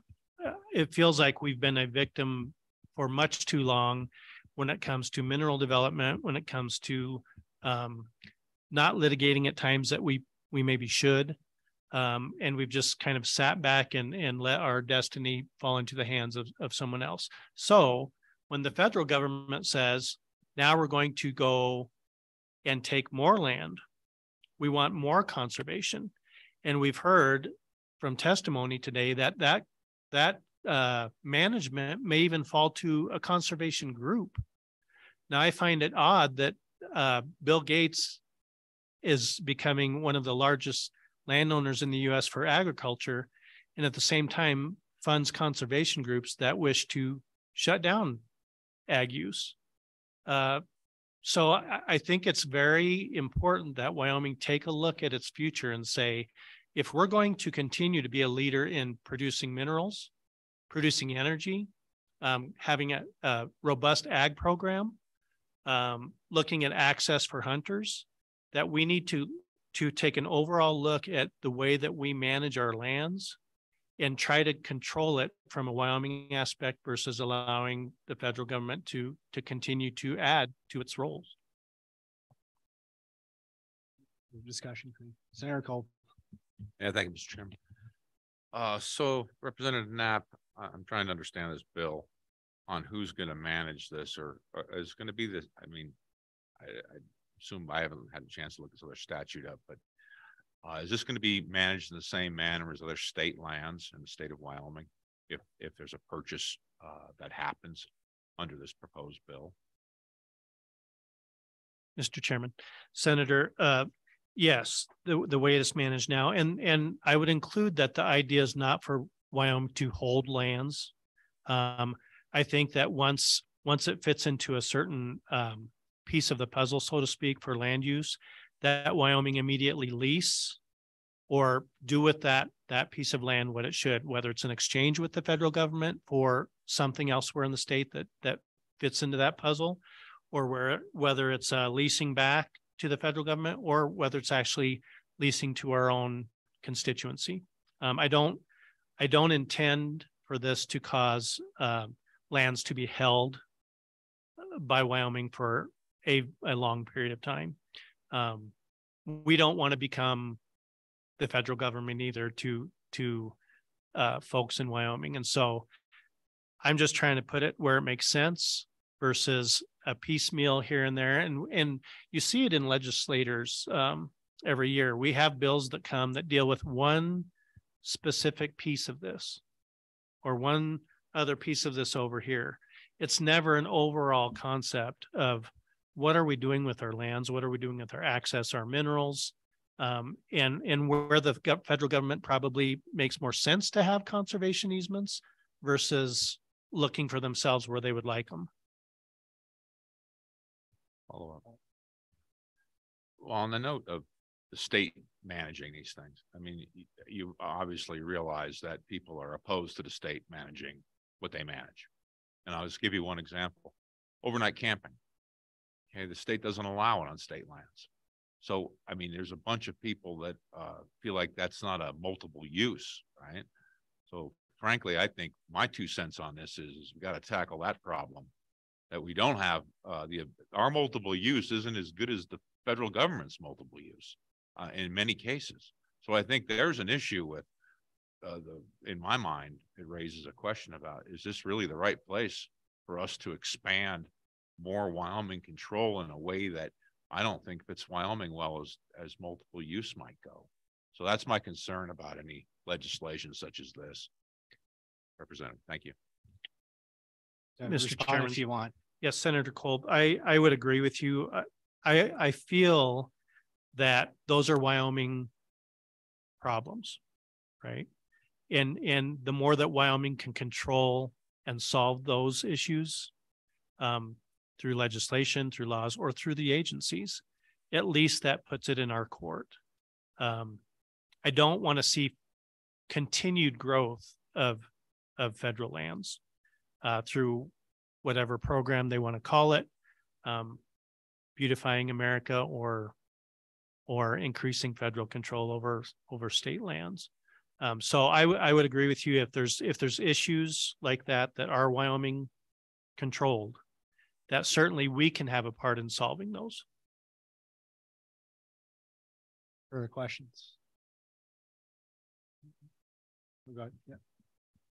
Mr. Chairman, I, I just have some concerns about the infringement of private property rights on this. Um, you know, recently was visiting with some really difficult decision to sell their ranch. Their family was super cash strapped. Um, and you mentioned the Occidental land purchase. When I watched the state of Wyoming, we had a wonderful opportunity to be involved in that, and we didn't get it because we're the Wyoming and we wanted more review, more legislative oversight, blah, blah. We lost it. And so when I hear government inserting itself into this, it's more time consuming. And so I am concerned about a landowner who is looking for whatever reason to make a sale, make a deal. Maybe they need those funds right away and they've got a willing partner with a federal. I'm nervous about inserting ourselves with 30 day processes for matches and this and that. Um, I, I, just, I think the intention's good, but I, I worry that we're, we're Wyoming and we're just going to make it worse. And I, I don't know if you've expressed that concern to you. So, Mr. Chairman, Senator Ellis. Um, keep in mind that I'm not promoting this particular bill. This was a starting point to start the conversation. Um, if this does go forward in another in another bill, it obviously will give that landowner the ultimate right in what they do with their property. Um, the time prescriptions as well. Um, my basis is that as the federal government throughout the western states is vying for more land from private um, people, that Wyoming at least have the opportunity to offer our citizens the capability to control it in Wyoming first. Um, that is the reason for the bill. Um, and again, this one I knew wasn't wasn't really going anywhere which is why it was tabled and brought to the committee to to expound on that and and maybe come up with something that is that is beneficial. Other questions for the representative? Okay, thank you, sir, for coming all the way down. Thank uh, you. Stand by, don't go too far. So um, next up, we have state lands. Sorry for the delay, Mr. Crowder, but uh, probably could predict that Representative Knapp would have been here. So Mr. Chairman. Again, it's Jason Crowder, uh, Deputy Director for the Office of State Lands and Investments. Director Scoggin apologizes for not being here, and I'm going to apologize for you having the B team. But I'm happy to answer any questions related to federal land exchanges with the state. Um, as I understood it, you wanted to talk more about House Bill uh, that you were just speaking about. Happy to do that as well. Um, and since Director Scoggin's not here, I think I can tell you and, and suffer the impacts when I get home. But this was my favorite bill going into the session. Um, it allowed the the Board of Land Commissioners in the office to pick all of the out of all the transactions its very best and and to move forward with it if it wanted to and it also had a continuous appropriation tied to it so we had the open checkbook to continue as we wanted to um, uh, I'm saying that in jest. Uh, all obviously all of the issues that were just discussed here um, were issues that we discussed through the um, through the session as we process this bill going forward. Uh, there are a lot of ways to make the bill better. Um, you all have talked about a lot of those, and and so has Representative Knapp. And if another bill comes forward and puts the state in some type of position to um, talk about negotiating to be the the entity that does the acquisition instead of the federal government. We're happy to to help in those and and offer more positive solutions to make a good bill better. Um, but at the end of the day, it's important to know that we have some limitations um, as far as state land transactions. And the largest limitation is funding. And so I, I may say in jest that we had an open checkbook, but it's true. Uh, right now, we can only buy land with funds that we currently have available in the permanent land fund. And that balance right now is just about $5 million for private land transactions. Of course, that's much higher for federal land transactions after we've gone through the federal um, or the uh, Teton county uh, Teton National Park disposals. But $5 million doesn't go very far, um, as was discussed earlier. So if we were to, to put ourselves in a position, there would need to be some type of funding structure put in place that we could easily grab and move forward with. Um, the reason we're limited on cash to buy land is that it's an investment for the state all state trust lands are not public land. Uh, they're not managed for the same management philosophy as the federal government. We're here to generate revenue for specific beneficiaries. Obviously, the largest one is the K through 12 school system. So any funds that we put into a land acquisition uh, need to have a, a, rate of return, an expected return on that investment. Um, so we use those permanent land funds because that is their intent is to generate a return for those beneficiaries. Uh, Mr. Chairman, I may stop there and, and answer any question. Well, I'll, I'll offer one more thing. Our real estate program is always open for business. Uh, it is never not open for business, and we're only limited by the funding that's available for acquisitions and the staff capacity that we have in house.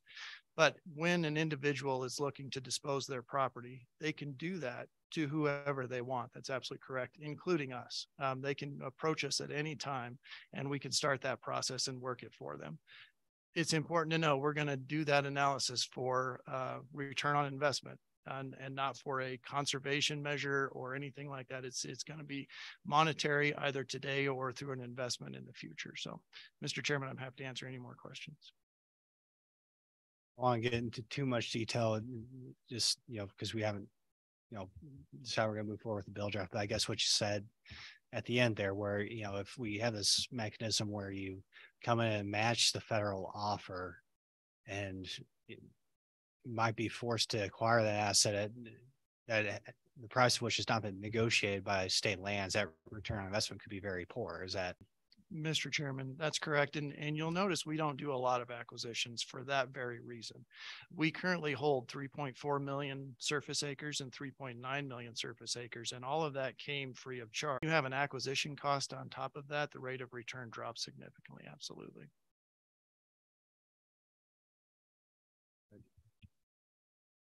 Chairman, so uh, living in a, a capitalistic culture that we have, we we look at that ROI, the return of invest, investment, and we look at short-term returns on our investment because we want it in our generation.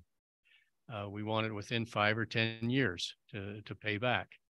The advantage of a of a state ownership is that you can look multi-generational uh, that's why some of these foreign ownerships are so so attractive to other governments because they are looking at 50 to 100 year payback versus five or 10 that we look at here as as private citizens. But still, with the the money of the state, you have to look at the other opportunities with that money, what you can generate, because ultimately you want a, a, a higher ROI. Uh, so to have a, a, a ranch of 35,000 acres that's offered to us for a first right of refusal that's multi-millions of dollars that we can only uh, lease it for grazing afterwards, that's going to be hard to show even a positive ROI. So, you know, th- conceptually, this is a great idea to, to, to limit the ownership of federal uh, lands within the state, but uh, I, I, I also see it difficult for us as a state and the investment board to make a decision. Yes, we're going to spend $50 million for this ranch. It's only going to generate, you know, a few thousand dollars a year in grazing. So, uh, how, when you look at ROI, is it, do you compare what you could make through the investment market with your money, or do you look at a, a 50 year payback? What, what kind of uh, gauge of, of KP, Mr. Crowder? Mr. Chairman, Mr. Co-Chair. Uh, great questions, and we look at all of those. Uh, so the, the State Land Trust has been in place for 133 years, and hopefully we do that for another 133. But also part of the board's trust land management objectives, which it developed in 2005, speak to short and long-term investment benefits back to its beneficiaries. So we are looking for that immediate, very short-term cash um, uh, back to the beneficiaries that they can utilize right now. We also look at the long-term investment. Um, what are that could generate lease rates higher than what we currently have, or um, as was mentioned before, uh, how much potential does the property have to appreciate that if we were to exchange it or sell it, that it gives the state a, a greater benefit at that time. Those are uh, also, we have to beat whatever the treasurer's office is doing with the funds that he invests. And that is part of the analysis too. So if we can't beat that, then it's highly likely that that, inve- uh, that opportunity improve. State lands. Okay, Senator Kolb. Mr. Chairman. I mean, we've had in the past discussions uh, about issues with your department, uh, division. And here we're talking about expanding it or taking on more uh, land to manage. In your opinion, are there other areas that we need to clean up first before we go running off and frankly, making a bigger problem than we currently have? help your office do what it does, uh, maybe more efficiently and address some of the problems you've heard in the last year or two, at least. Chairman, uh, Senator Colvin, and thanks for bringing up the issues that we've talked about. I appreciate responding to those again. And, and some of those are staffing within the office, the, the higher liable on state. Some of it is how the legislature has enacted processes for management and use of state lands in a variety of different arenas. I think we're doing great things uh, with your help as far as staffing. Uh, we were able to secure, I believe, four, four to five new positions in the last session um, to help with our responsiveness to industry and to citizens utilizing state lands, and, and that'll help. Um, you should know that we're coming again to say that was a good first step. Here's the second step and, and the benefits that come from that. Um, and also we're working with our oversight committee, the joint ag committee on relieving some of those um, very prescriptive pressures on the uses of state land to make that more and more responsive to the times that we currently live like that and people don't miss deadlines. So um, knowing that more transactions can come into the office they would be subject to those pressures that you just mentioned and, and I just discussed. It's also important to know that the um, uh, uh, legislature has given us guidance as far as a no net gain of state land ownership within the state. Um, they gave us a baseline uh, created back in 1999 that we are not to go above 10,000 acres of that baseline or below 10,000 acres of the baseline. Currently, we sit 3,300 acres of the below that baseline. That was guidance given to us in a budget footnote. It's obviously expired, but it's something that the board wants to know each and every time we look at a land transaction and its impact to the total ownership across the state. So the board does that without legislative direction just to ensure that our ownership doesn't exceed 10,000 acres above that baseline. I would anticipate that anything that would come out of an effort like this, even if it was 35,000 acres, that we would immediately turn around and try to divest ourselves of acreage that would bring us back closer to that baseline or within that 10,000 acre no net gain. Questions, committee? Okay, thank you, Mr. Crowder. Appreciate it. Okay, any public comment on this issue? Land exchanges, both state and federal. Okay, anybody online? Okay, public comment is closed. Committee, any discussion or motions on this topic?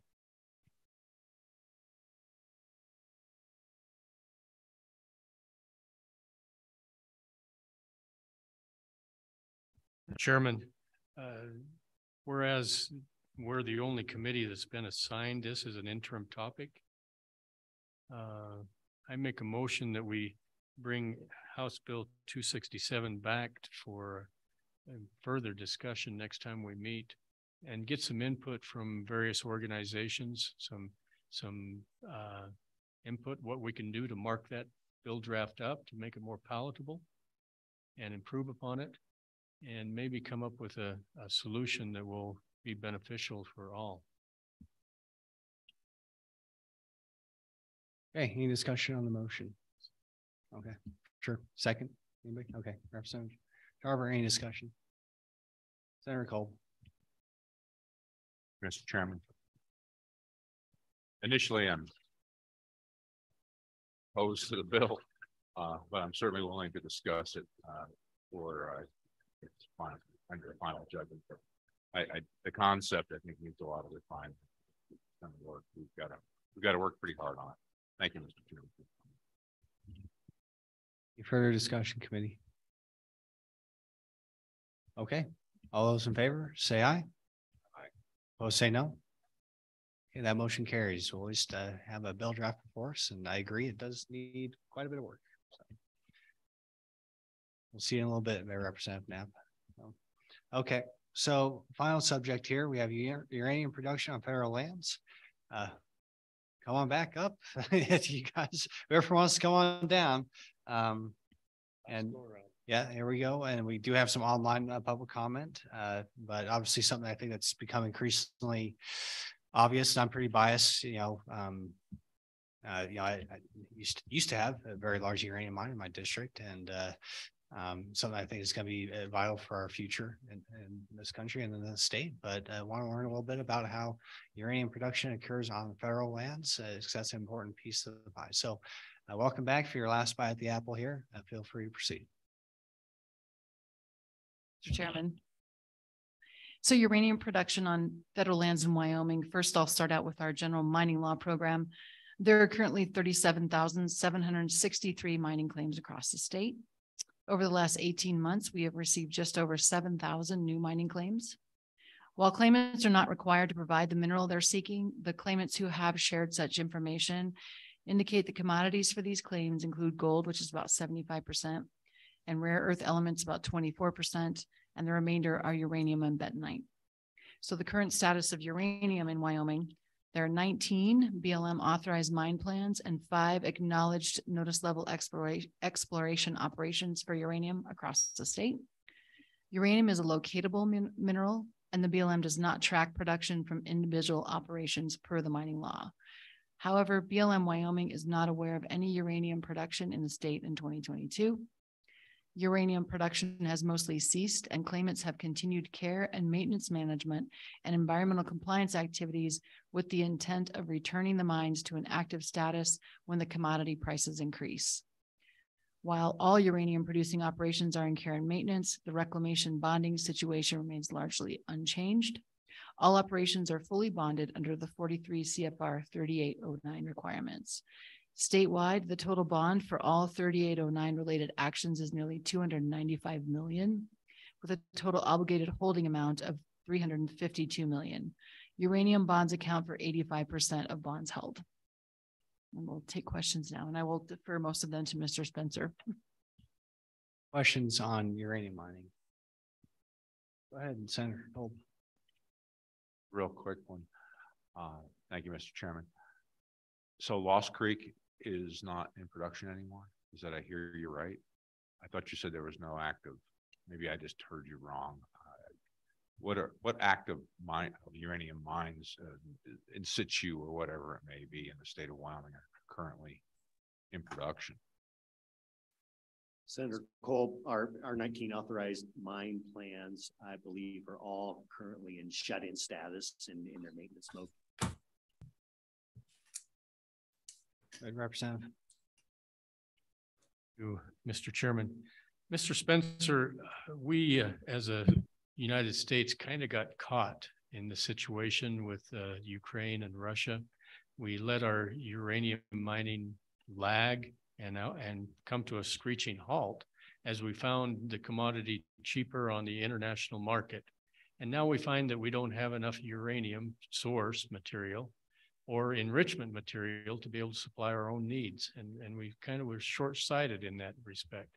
So in my personal opinion, I believe we're going to see a revamp of our uranium mining industry and uh, enrichment in the, in the next few years.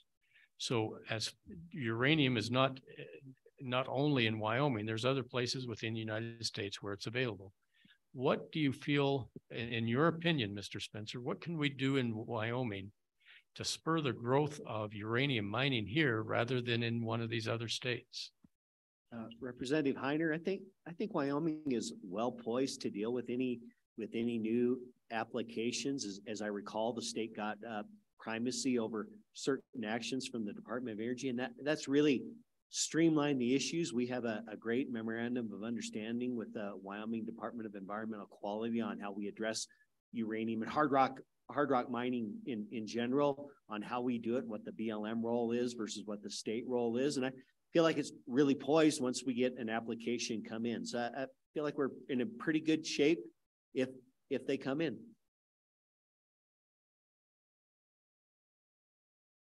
Other questions, committee?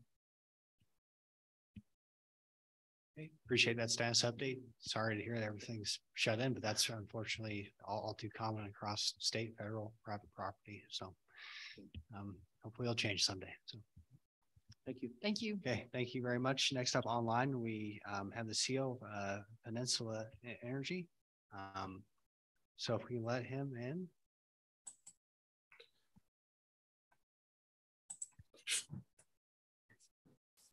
Um, Welcome, sir. Please feel free to introduce yourself and uh, proceed with your testimony. My name is Wayne Heili, and I'm a member. I am the CEO uh, of Peninsula Energy, which is a publicly traded company holding uranium mining interests in the state of Wyoming via our wholly owned subsidiary Strata Energy. I live in Casper, and I have made Wyoming my home for most of my adult life.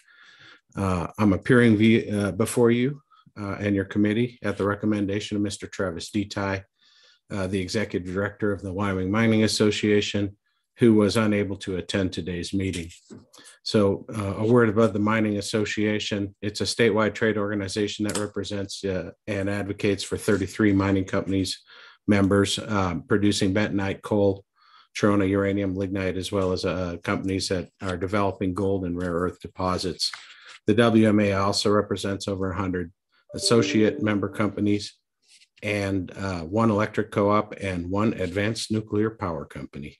So it's my pleasure to be with you today uh, to update you on the status of your uranium recovery industry in Wyoming and some federal issues that we're encountering as we ramp up. Uh, the state of Wyoming is currently home to six permitted and operational uranium mines. Uh, Strata's Lance Project, UR Energy's Lost Creek Mine, Cameco's Smith Ranch, uh, and North Butte Mines, Energy Fuels Nichols Ranch, and uh, Uranium Energy Corporation's Willow Creek Mines. We also have one conventional mill in standby mode, the Sweetwater Mill in Sweetwater County. In addition to the permitted and operational mines, there are several projects that are currently being permitted, have applied for expansions, or have been approved but not constructed. There are also a number of companies actively exploring for new deposits in the state. So um, you heard um, statewide uranium production in 2022 last year was negligible at 33,000 pounds. Uh, this is down from about 4.3 million pounds per year a decade ago and about 12 million pounds per year in the late 1970s when uranium's uh, uh, uranium production peaked in the state of Wyoming. The state hosts an estimated total resource of over 450 million pounds. Uh, so we're very sizable and an important state uh, for uranium productions. Wyoming, Wyoming companies are permitted and licensed to produce about 13 million pounds annually um, via our in situ and conventional methods. This is an important share of our nation's uranium production capacity. Uh, nationally, our, our commercial nuclear reactor fleet consumes 40 to 50 million pounds a year. So even if we were producing um, at our full capacity, we wouldn't meet our nation's um, requirements for uranium. At a recent uh, uh, research and explorations for nuclear energy in Wyoming uh, workshop held by the UW School of Energy Resources, the director of the nuclear fuel cycle at Idaho National Labs noted, though, Wyoming does indeed have the capacity uh, to supply the necessary amounts of uranium needed, in particular, if we were to pursue uh, building the domestic high assay low enriched uranium um, needed uh, to fuel the small modular reactors of the future, like the TerraPower demonstration project in Kemmerer. Uh, the Wyoming industry has employed 142 people at the end of, of last year with a payroll of about $14 million. And um, that's up 20 employees from the previous year, but down from the 500 where we were in um, 2013 and about 5,300 in the late 1970s. The industry uh, has generated an estimated 600,000 in revenues and taxes and royalties last year. Severance tax is the main uh, source, and severance tax for uranium is currently um, set on a sliding scale base on the on a price uh, less than thirty dollar price. We, there's no uh, no severance tax. Uh, at sixty dollars or more, there's a five percent uh, severance tax. The current price, uh, the spot price for uranium uh, today, is in the mid 50s, and the severance tax base rate, therefore, I expect is about four percent. The sliding scale that I just talked about expires unless it's expanded, extended at the end of 2026. And at that time, if it if it does expire, expire uh, the severance tax rate will revert to a flat 4% rate. Okay, so here's the good news. Um, while, while the economics of each company are different, um, uranium prices have been improving over the past two years. And uh, we now have reached a point where at least two companies are working to resume production in the state. This month, UR Energy announced the resumption of production activities at Lost uh, at the Lost Creek mine in Sweetwater County. Senator Kolb, uh, UR Energy is producing today. Uh, Strata Energy, the company I represent, also has guided that it will resume production around mid-year um, at the Lance projects in Crook County. So Wyoming operators are actively hiring and looking to add. Uh, I estimate about 150 jobs as production resumes around the state. These jobs range from field operators, engineers, geologists, drillers, lab techs, mechanics, electricians, uh, field construction folks, maintenance folks, small equipment operators, plant operators, administrative staff. Uh, it's the full gamut that's required to operate a mine. These are all high paying jobs, and depending on the position, uh, the salary expectations would be between $50,000 and $135,000 per year. There's also a notable increase in exploration drilling activities uh, currently. Several junior exploration companies have staked land positions within the state and are actively investing in, in locating new uranium mineral deposits. If prices remain strong like they are today, it's likely that exploration activities alone could add another 150 to 200 jobs in the state. The companies that are actively ramping up activities are facing headwinds, challenging headwinds related to cost inflation, a tight labor market, construction, operating supply availabilities, uh, transportation costs, limited contractor availability, and federal policy issues. Ladies and gentlemen, I'm just here to tell you it's tough out there and it's nothing like business as usual uh, once looked. So before I touch on federal issues, I want to say that the industry has a very good working relationship with the state of Wyoming, uh, uh, Department of Environmental Quality Uranium Recovery Program. Wyoming's agreement state program with the NRC grants the state regulatory uh, regulatory primacy over uranium recovery, and this has proven to be very successful. It's an example of where bringing it home to Wyoming has been a, a benefit to the industry that it was intended to benefit. It has cut permitting times for us and permitting costs for us. And the state uh, agency, the, the uranium recovery program, appears to be delivering on a far more efficient program um, than the Nuclear Regulatory Commission ever did. So on to the, the federal um, questions. Under the General Mining Act of 1872, uranium is a locatable mineral um, and it's managed as such, which means on federal lands and over federal mineral rights, companies stake and maintain federal mineral claims that establish the right to locate and recover uranium. The system differs from oil, coal, and gas, which are managed under leasing systems.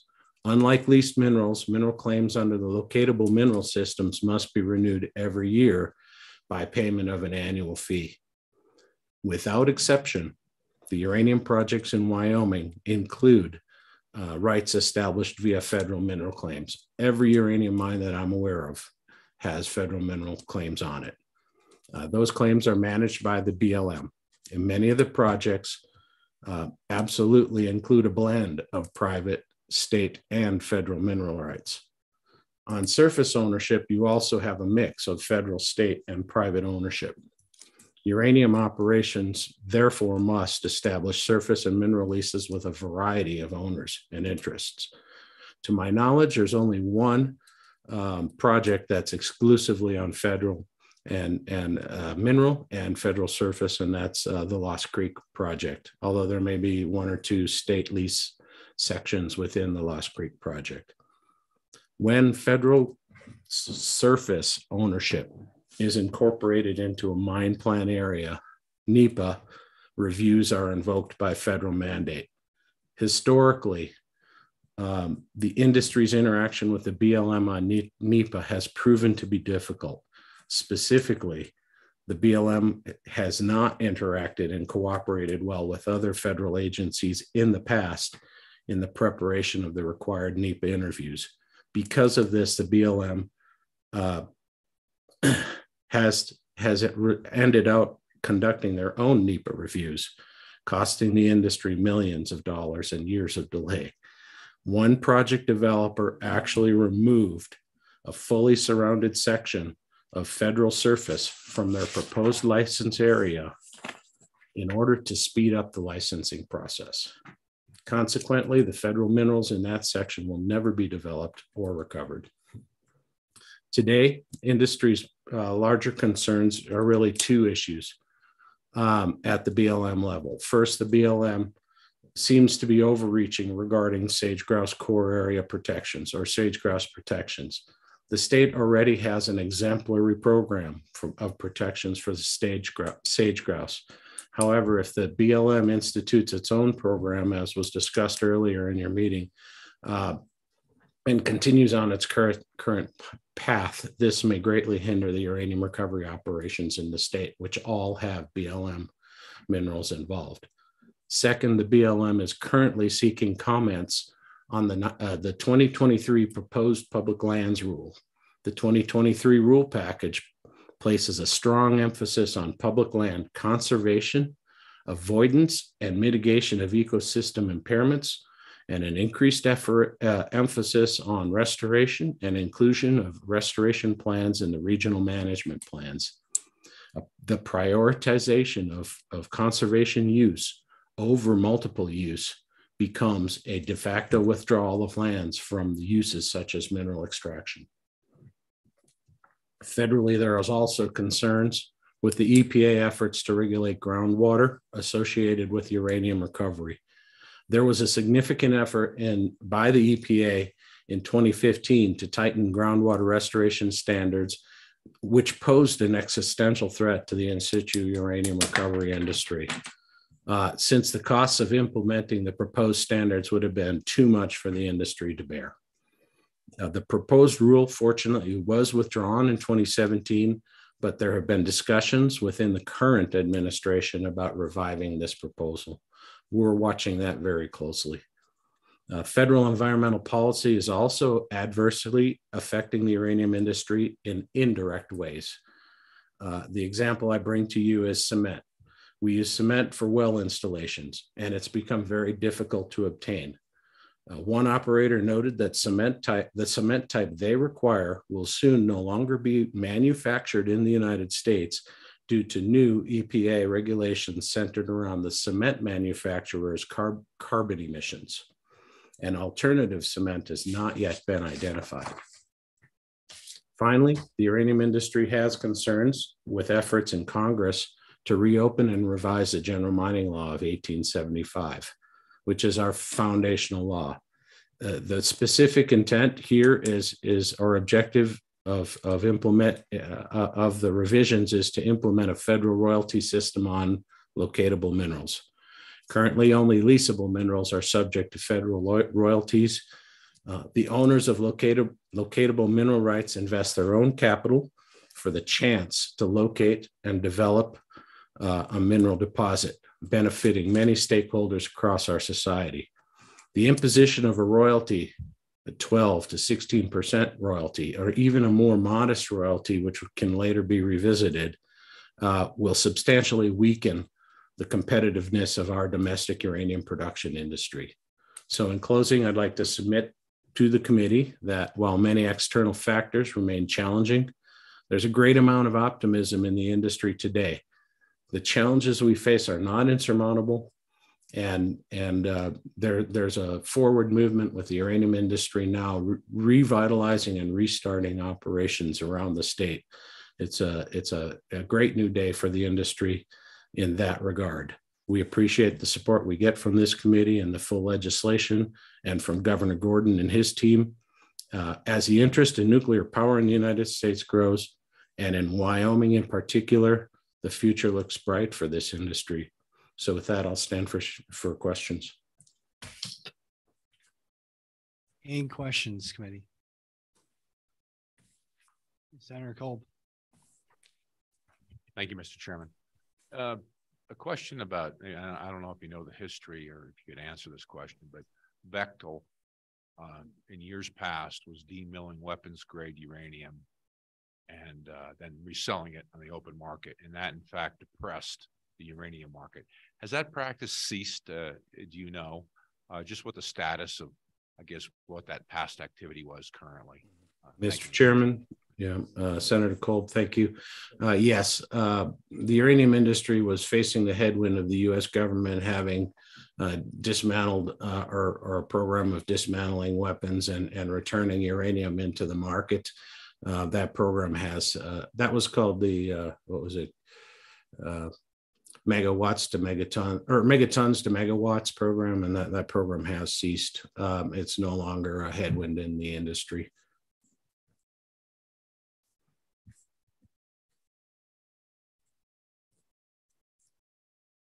Any further questions, committee? Okay, I just have one really quick. I mean, you mentioned um, some of the challenges with the, the, federal government. There's other things that state can do to talk about severance tax, but I think that's a little bit different. Um, you know, committee perhaps, but is there anything specifically the state of Wyoming should be doing to uh, support your industry as it relates to the, the federal nexus? Yeah, I uh, thank you, Mr. Chairman. Uh, I think the, the state of Wyoming needs to employ its expertise in the uranium recovery and natural resources management to um, to comment on on the the Bureau of Land Management's uh, 2023 um, uh, plan uh, to make sure that that the provisions of of that uh, plan are not onerous to to its extraction industry. It would go beyond the uranium industry um, if if uh, if the changes that we see um, coming um, were implemented. Again, I I'd, I'd, like to emphasize that you know my view of of the um, of the of this uh, uh, public lands rule is is that it, it's it's emphasizing conservation uh, over all other uses and and mining needs to exist in a multi-use environment thanks for that. I think we're we're on the ball on that one. Hopefully, we'll see what we can do there. So, any further questions, committee? Thank you, Mr. Chairman. I'll figure out where to put my face with this microphone. Uh, when it comes to the production of uh, uh, terminology HALEU for the uh, reactor systems that we're talking about coming into the state of Wyoming, uh, do we have to produce a certain kind of uranium to do that, or is it a process of refining the said uranium that produces the HALEU product? Do you know anything about that, uh, sir? Uh, Mr. Chairman, um, Senator, I, I know enough to be dangerous. Uh, every uh, every bit of uranium that can be produced in the state of Wyoming can be utilized to generate HALEU. Um, we we produce a uranium concentration uh, that goes through uh, further refinement steps in the nuclear fuel cycle. Uh, the next step in the line is conversion to a uranium hexafluoride. And then that hexafluoride uh, gas goes through um, an isotopic um, separation process that is separating different uranium isotopes. And that's what's called enrichment. HALEU, high assay low enriched uranium, is, is enriched to a concentration uh, approaching 20% of the uranium isotope of interest. uh, as opposed to the fuel that we use for our commercial fleet right now, which is which is about five percent.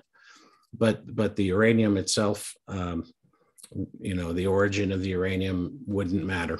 Um, the Wyoming, Wyoming's uranium can be used to generate HALEU uh, or other nuclear fuels. Um, it's just a matter of the downstream processes uh, that are employed.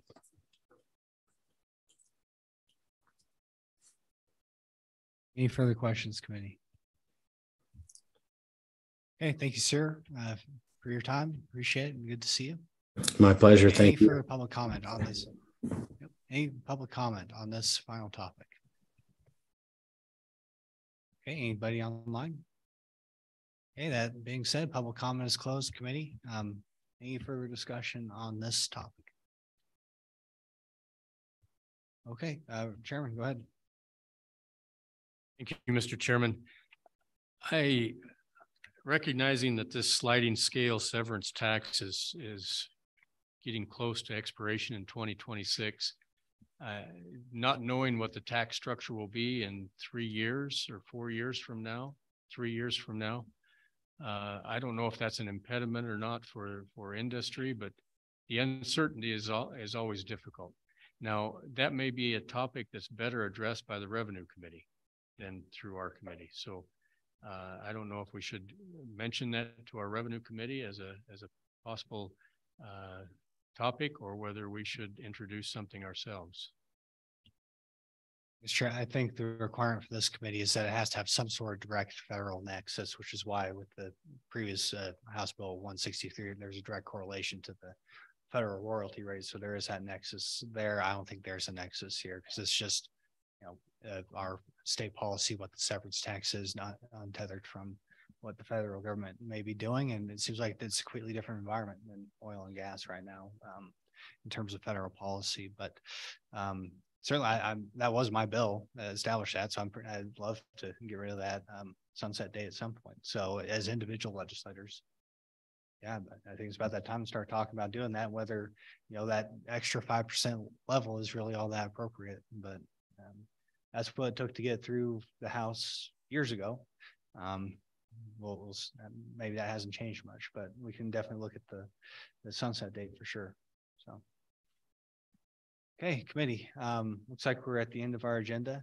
Um, I, I get the impression we only have one more authorized meeting. I, I'm- I want the committee's input, but I, I'm leaning towards asking management council for another day. I think we've we've got a lot on our plate and a lot more that we could be doing, and we've got what uh, several bill drafts are going to take, I think, a little bit of work. Um, and so, if it's okay with the committee, and certainly want to get your input on that. But it looks like we might have uh, two more meetings instead of just one. But want to see if anybody has any comment on that. Mr. Chairman, go ahead. Our next scheduled or tentatively scheduled meeting is September thirteenth, so I just wanted everyone to be aware of that. Is that right, Talise? Emily, I think it's in October. is it October? Yeah. We do go to two meetings, we might end up having to have different dates because I don't think that really works all that well for having two. Yeah, we have to have our third meeting in December or something like that, which we could do, I guess, but uh. Okay, so um absent any discussion, we'll go ahead and ask for a second meeting date and just uh as it stands right now. And uh, or a third, I guess, two more. Um, any other discussion? Okay, looks like we are adjourned. Thanks for the good work. See you next time.